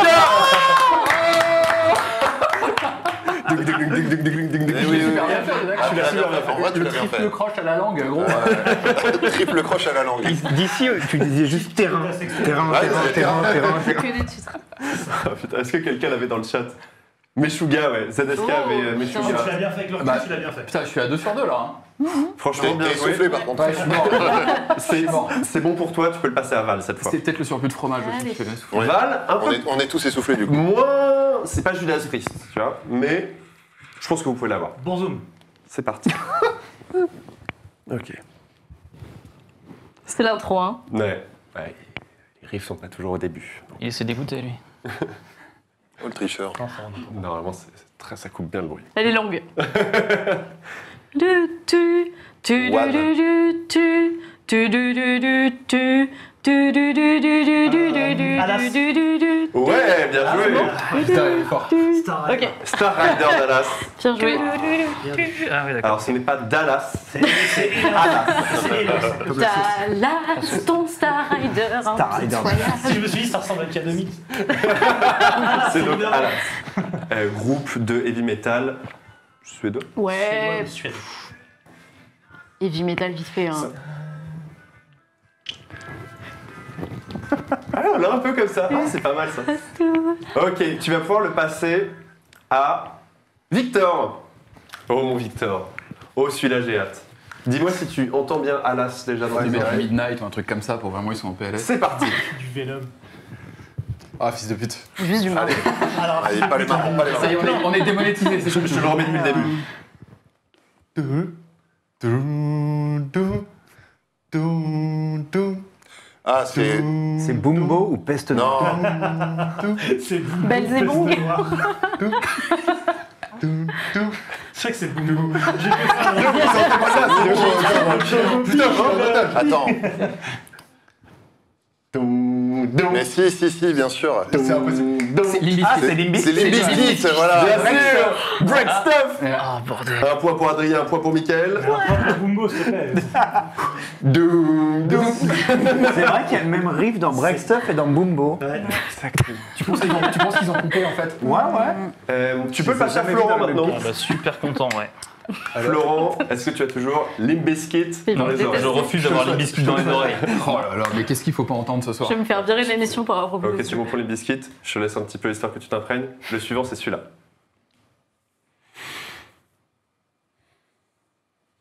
Hmm, Une petite intro aussi. Je sais même pas ce que c'est. Oh, si, si, pardon. mais- Ah. Ouais, Qu'est-ce que c'est là? Megadeth Ouais Symphony of Destruction. Ah ouais J'ai failli. Ah, T'as réussi à mal la faire quand même. Ah, par mais... contre, Breakstuff avait été trouvé par trois personnes quand même. Wow. Altul, Gwen et Calu. C'était en mode Break Bravo, c'était Symphony of Destruction de Megadeth. Tout le monde critique Limp Bizkit, mais tout le monde l'écoute. Hein. C'est- partie de groupes. euh. Ah non. Et tu vas pouvoir le passer à Val pour le, le- son dernier passage. Val, dis-moi quand tu es prête. Ouais, c'est bon.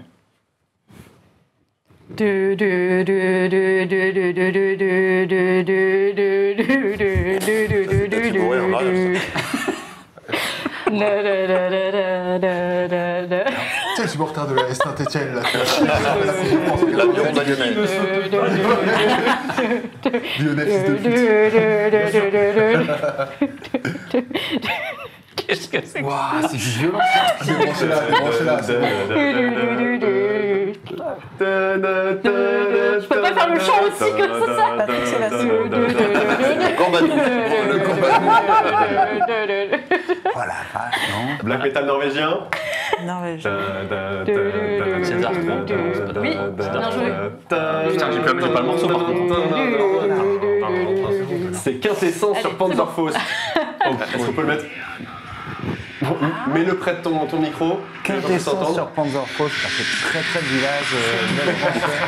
Je viens de Quintessence sur Panzerfaust. Personne. Ah si, Gwen, Gwen a eu Dark Throne. Et C'est lui qui a le, Ouais, truc en fait. oui. Ah, Ouais, pour l'instant, il est très très Il gagne une bougie. Tu gagnes la, le- la Donc, pointe de la mais- de fromage. Tous, tous les chroniqueurs et Ah, ouais, chroniqueuses de Hands Up sont passés deux fois. Absolument. Je pense qu'on peut Oh vous le passer à vous. Aïe aïe aïe hein. Adrien, tu prends? Sanguisti la vogue Normalement, ce qui va passer dans tes oreilles là, c'est toujours. Je baisse un petit peu parce que ça va péter les oreilles. C'est toujours Dark Throne. Ok? Est-ce que tu es prêt pour le prochain C'est parti.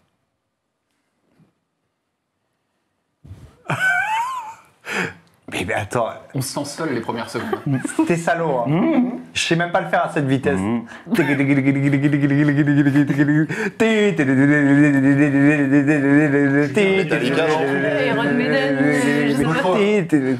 Oh.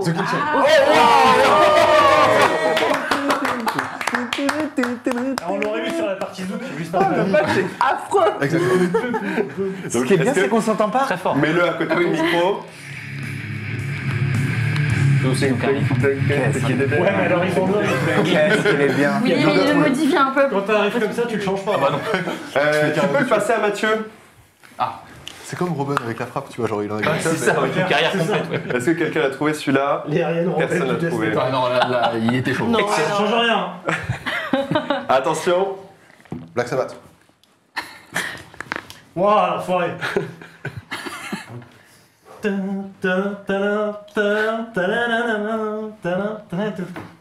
Crazy Frog. C'est Crazy Frog. Beaucoup de batterie. Ah si Joe Dassin Putain, je l'ai. Oui, je l'ai, je l'ai, mais putain. Ouais, c'est horrible, t'as que le. C'est ah what is non c'est quoi ça c'est Mastodon C'est Ah, putain. Blood and Thunder Ouais, ouais, ouais. mais- C'est Blood and Thunder. C'est dur en fait. T'as rajouté le mime, t'as poussé le game un peu plus loin les J'ai guitare. beaucoup de batterie, tu vois. C'était très bon. Sur celui-là, Gwen a dit nope. Il n'a pas participé le juge dur. mais C'est déjà haut. Même le boss final. T'as été très bon. Ok, été Jesse. Ah putain, finis par maintenant. T'en supplie. T'inquiète, on a tout fait. Est-ce que t'as toujours Mastodon Avec le mastodon. T'as quoi C'est parti. Oh. J'attends un petit peu. Petite intro aussi. Intro, intro. C'est pas le plus facile. Fait, il a choisi les pires morceaux pour les invités, vous avez remarqué. Hein, genre- quelle enf- quelle enflure. C'est encore intro un peu. The Trooper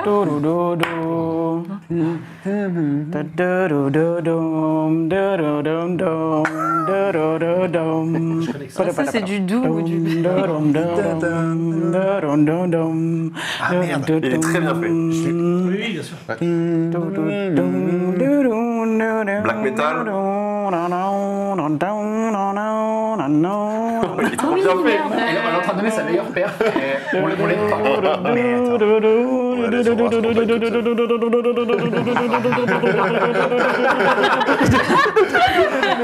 Ça dure longtemps. Black Metal Soda. Non. putain, dissection. Dissection. C'est Where Dead Angels Ah oui. Lie de Dissection. C'est Victor qui l'a. Et qui, du coup, gagne le jeu non, est à égalité avec Mathieu. Partout. Et du coup, c'est Julien. C'est Julien qui va permettre de. Qui de- petit de- à petit se cache Allez, sous la déteste. Il va faire doudou. Donc là, Allez. Allez, fais dissection doudou. dans les esgourdes. Et en fait, c'est hyper Et bien fait attention. dissection avec le recul. hein. Oui. Ouais, ouais, masse de temps. Je pense que c'est le mieux depuis vraiment le début, très facilement. C'est pas simple. Next. Semi-avancé. Il y a une intro aussi. Ah, Ça groove un peu. L- Ouais. Ouais. Les biscuits, t'as déjà fait ça. Chaka Ponk. Petit Pantera là.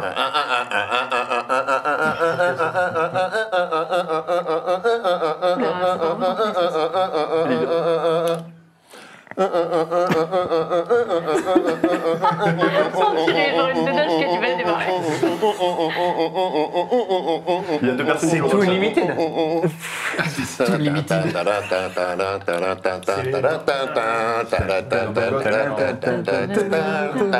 Ah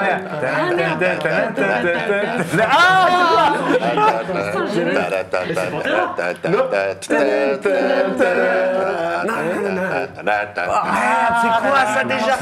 Non.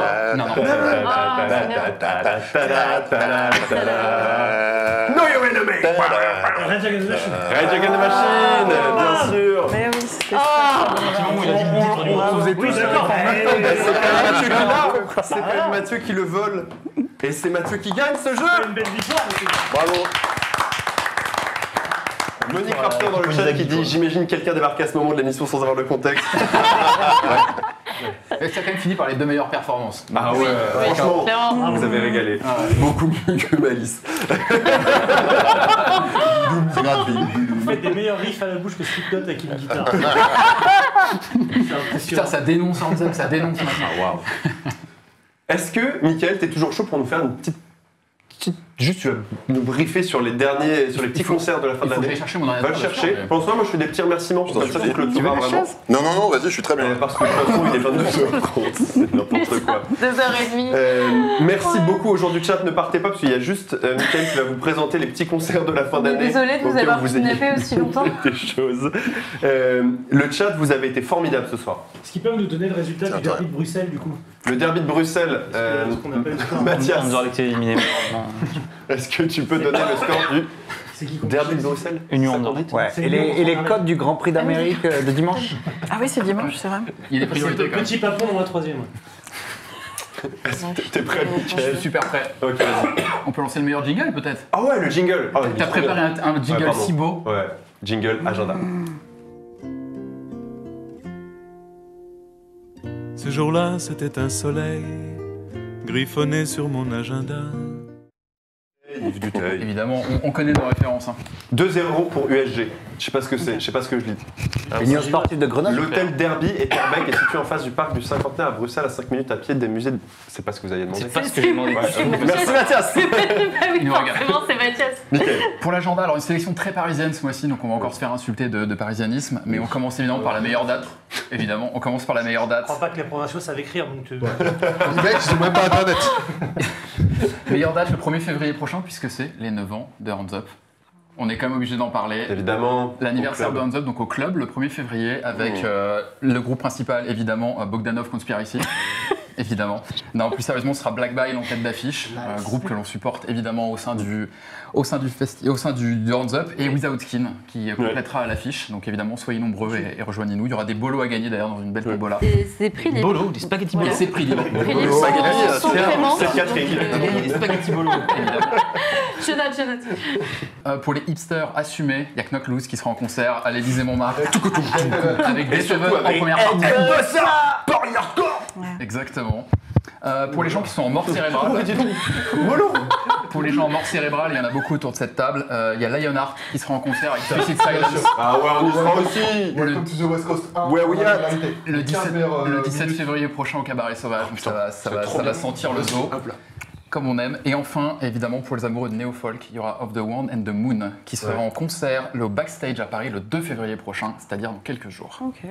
Et voilà pour la petite On peut en sélection. rajouter ou pas? Bien sûr, si t'as une date à, à dimanche, il y a Morning Dawn qui fait sa, au club qui fait sa release party avec Ataraxi et Dea. Euh, Le samedi, je vais voir un concert, j'ai déjà oublié ce que c'est, mais ça doit être Sanguis Il y a Suffocation. La suffocation. On l'a pas mentionné parce qu'il est seul. Le 4, Gros euh, le week-end. 4 février, il y a aussi Hellfire et Manzer au club. Ah bah voilà. Il y a- Pour les fans Et du le dimanche, dimanche 3, il y a LLNN juste après, Ah ouais qui fait Ah un ouais. gros gros, euh, gros, week-end post. très cool ça aussi. C'est Black. Bile, amènera Oxmancher, LLNN, LLNN en 4 jours. Et lundi, t'es à Sainte-Anne. Ça marche. Merci beaucoup pour cet agenda, Michael. Avec plaisir. Merci beaucoup au Fortifait, merci à Julien Méniel, merci à Mathieu de Doudoumdad, merci à l'équipe de Hands Up. Vous avez été formidables, merci au chat, merci à la modération, Hugo, Mathias, il y avait ZSK aussi, on vous a adoré, merci d'avoir participé, bravo à Gwen d'avoir trouvé beaucoup de choses comme ça. Merci aussi à Altoum qui dit Restraining Order, Euh, c'était ce soir Restraining Order, Euh, c'est fini. Magnitude, par contre, Magnitude avec euh, Temple Guard. Euh, et aussi Seed of Pain. On- Ça vend des choses, ça. Oui. C'est le hardcore, tout le monde s'en branle. Ils seront créés demain. dans tous les. Et euh, le, re- le replay de cette émission sera disponible sous 48 heures sur YouTube et les plateformes de podcast. Abonnez-vous, parlez-en autour de vous. Suivez nos invités aussi sur les réseaux sociaux. Ils font des formidables choses. Nous, on va aller boire de la liqueur de rillette avec De l'eau de vie de rillette. De l'eau de vie de rillette. Euh, attention, va, pas piment. pas. Et le syndicat de la Sarthe, euh, étant Tourangeau, la Sarthe, hop là. Euh, Rendez-vous fin février ou début mars, on n'a pas encore quelle est la date pour la prochaine émission. Elle sera très très chouette. Elle sera avec un groupe de musique euh, qui fait des choses très chouettes en ce moment. À très vite. Merci beaucoup d'avoir été là. Des bisous à vous tous et toutes. Et à bientôt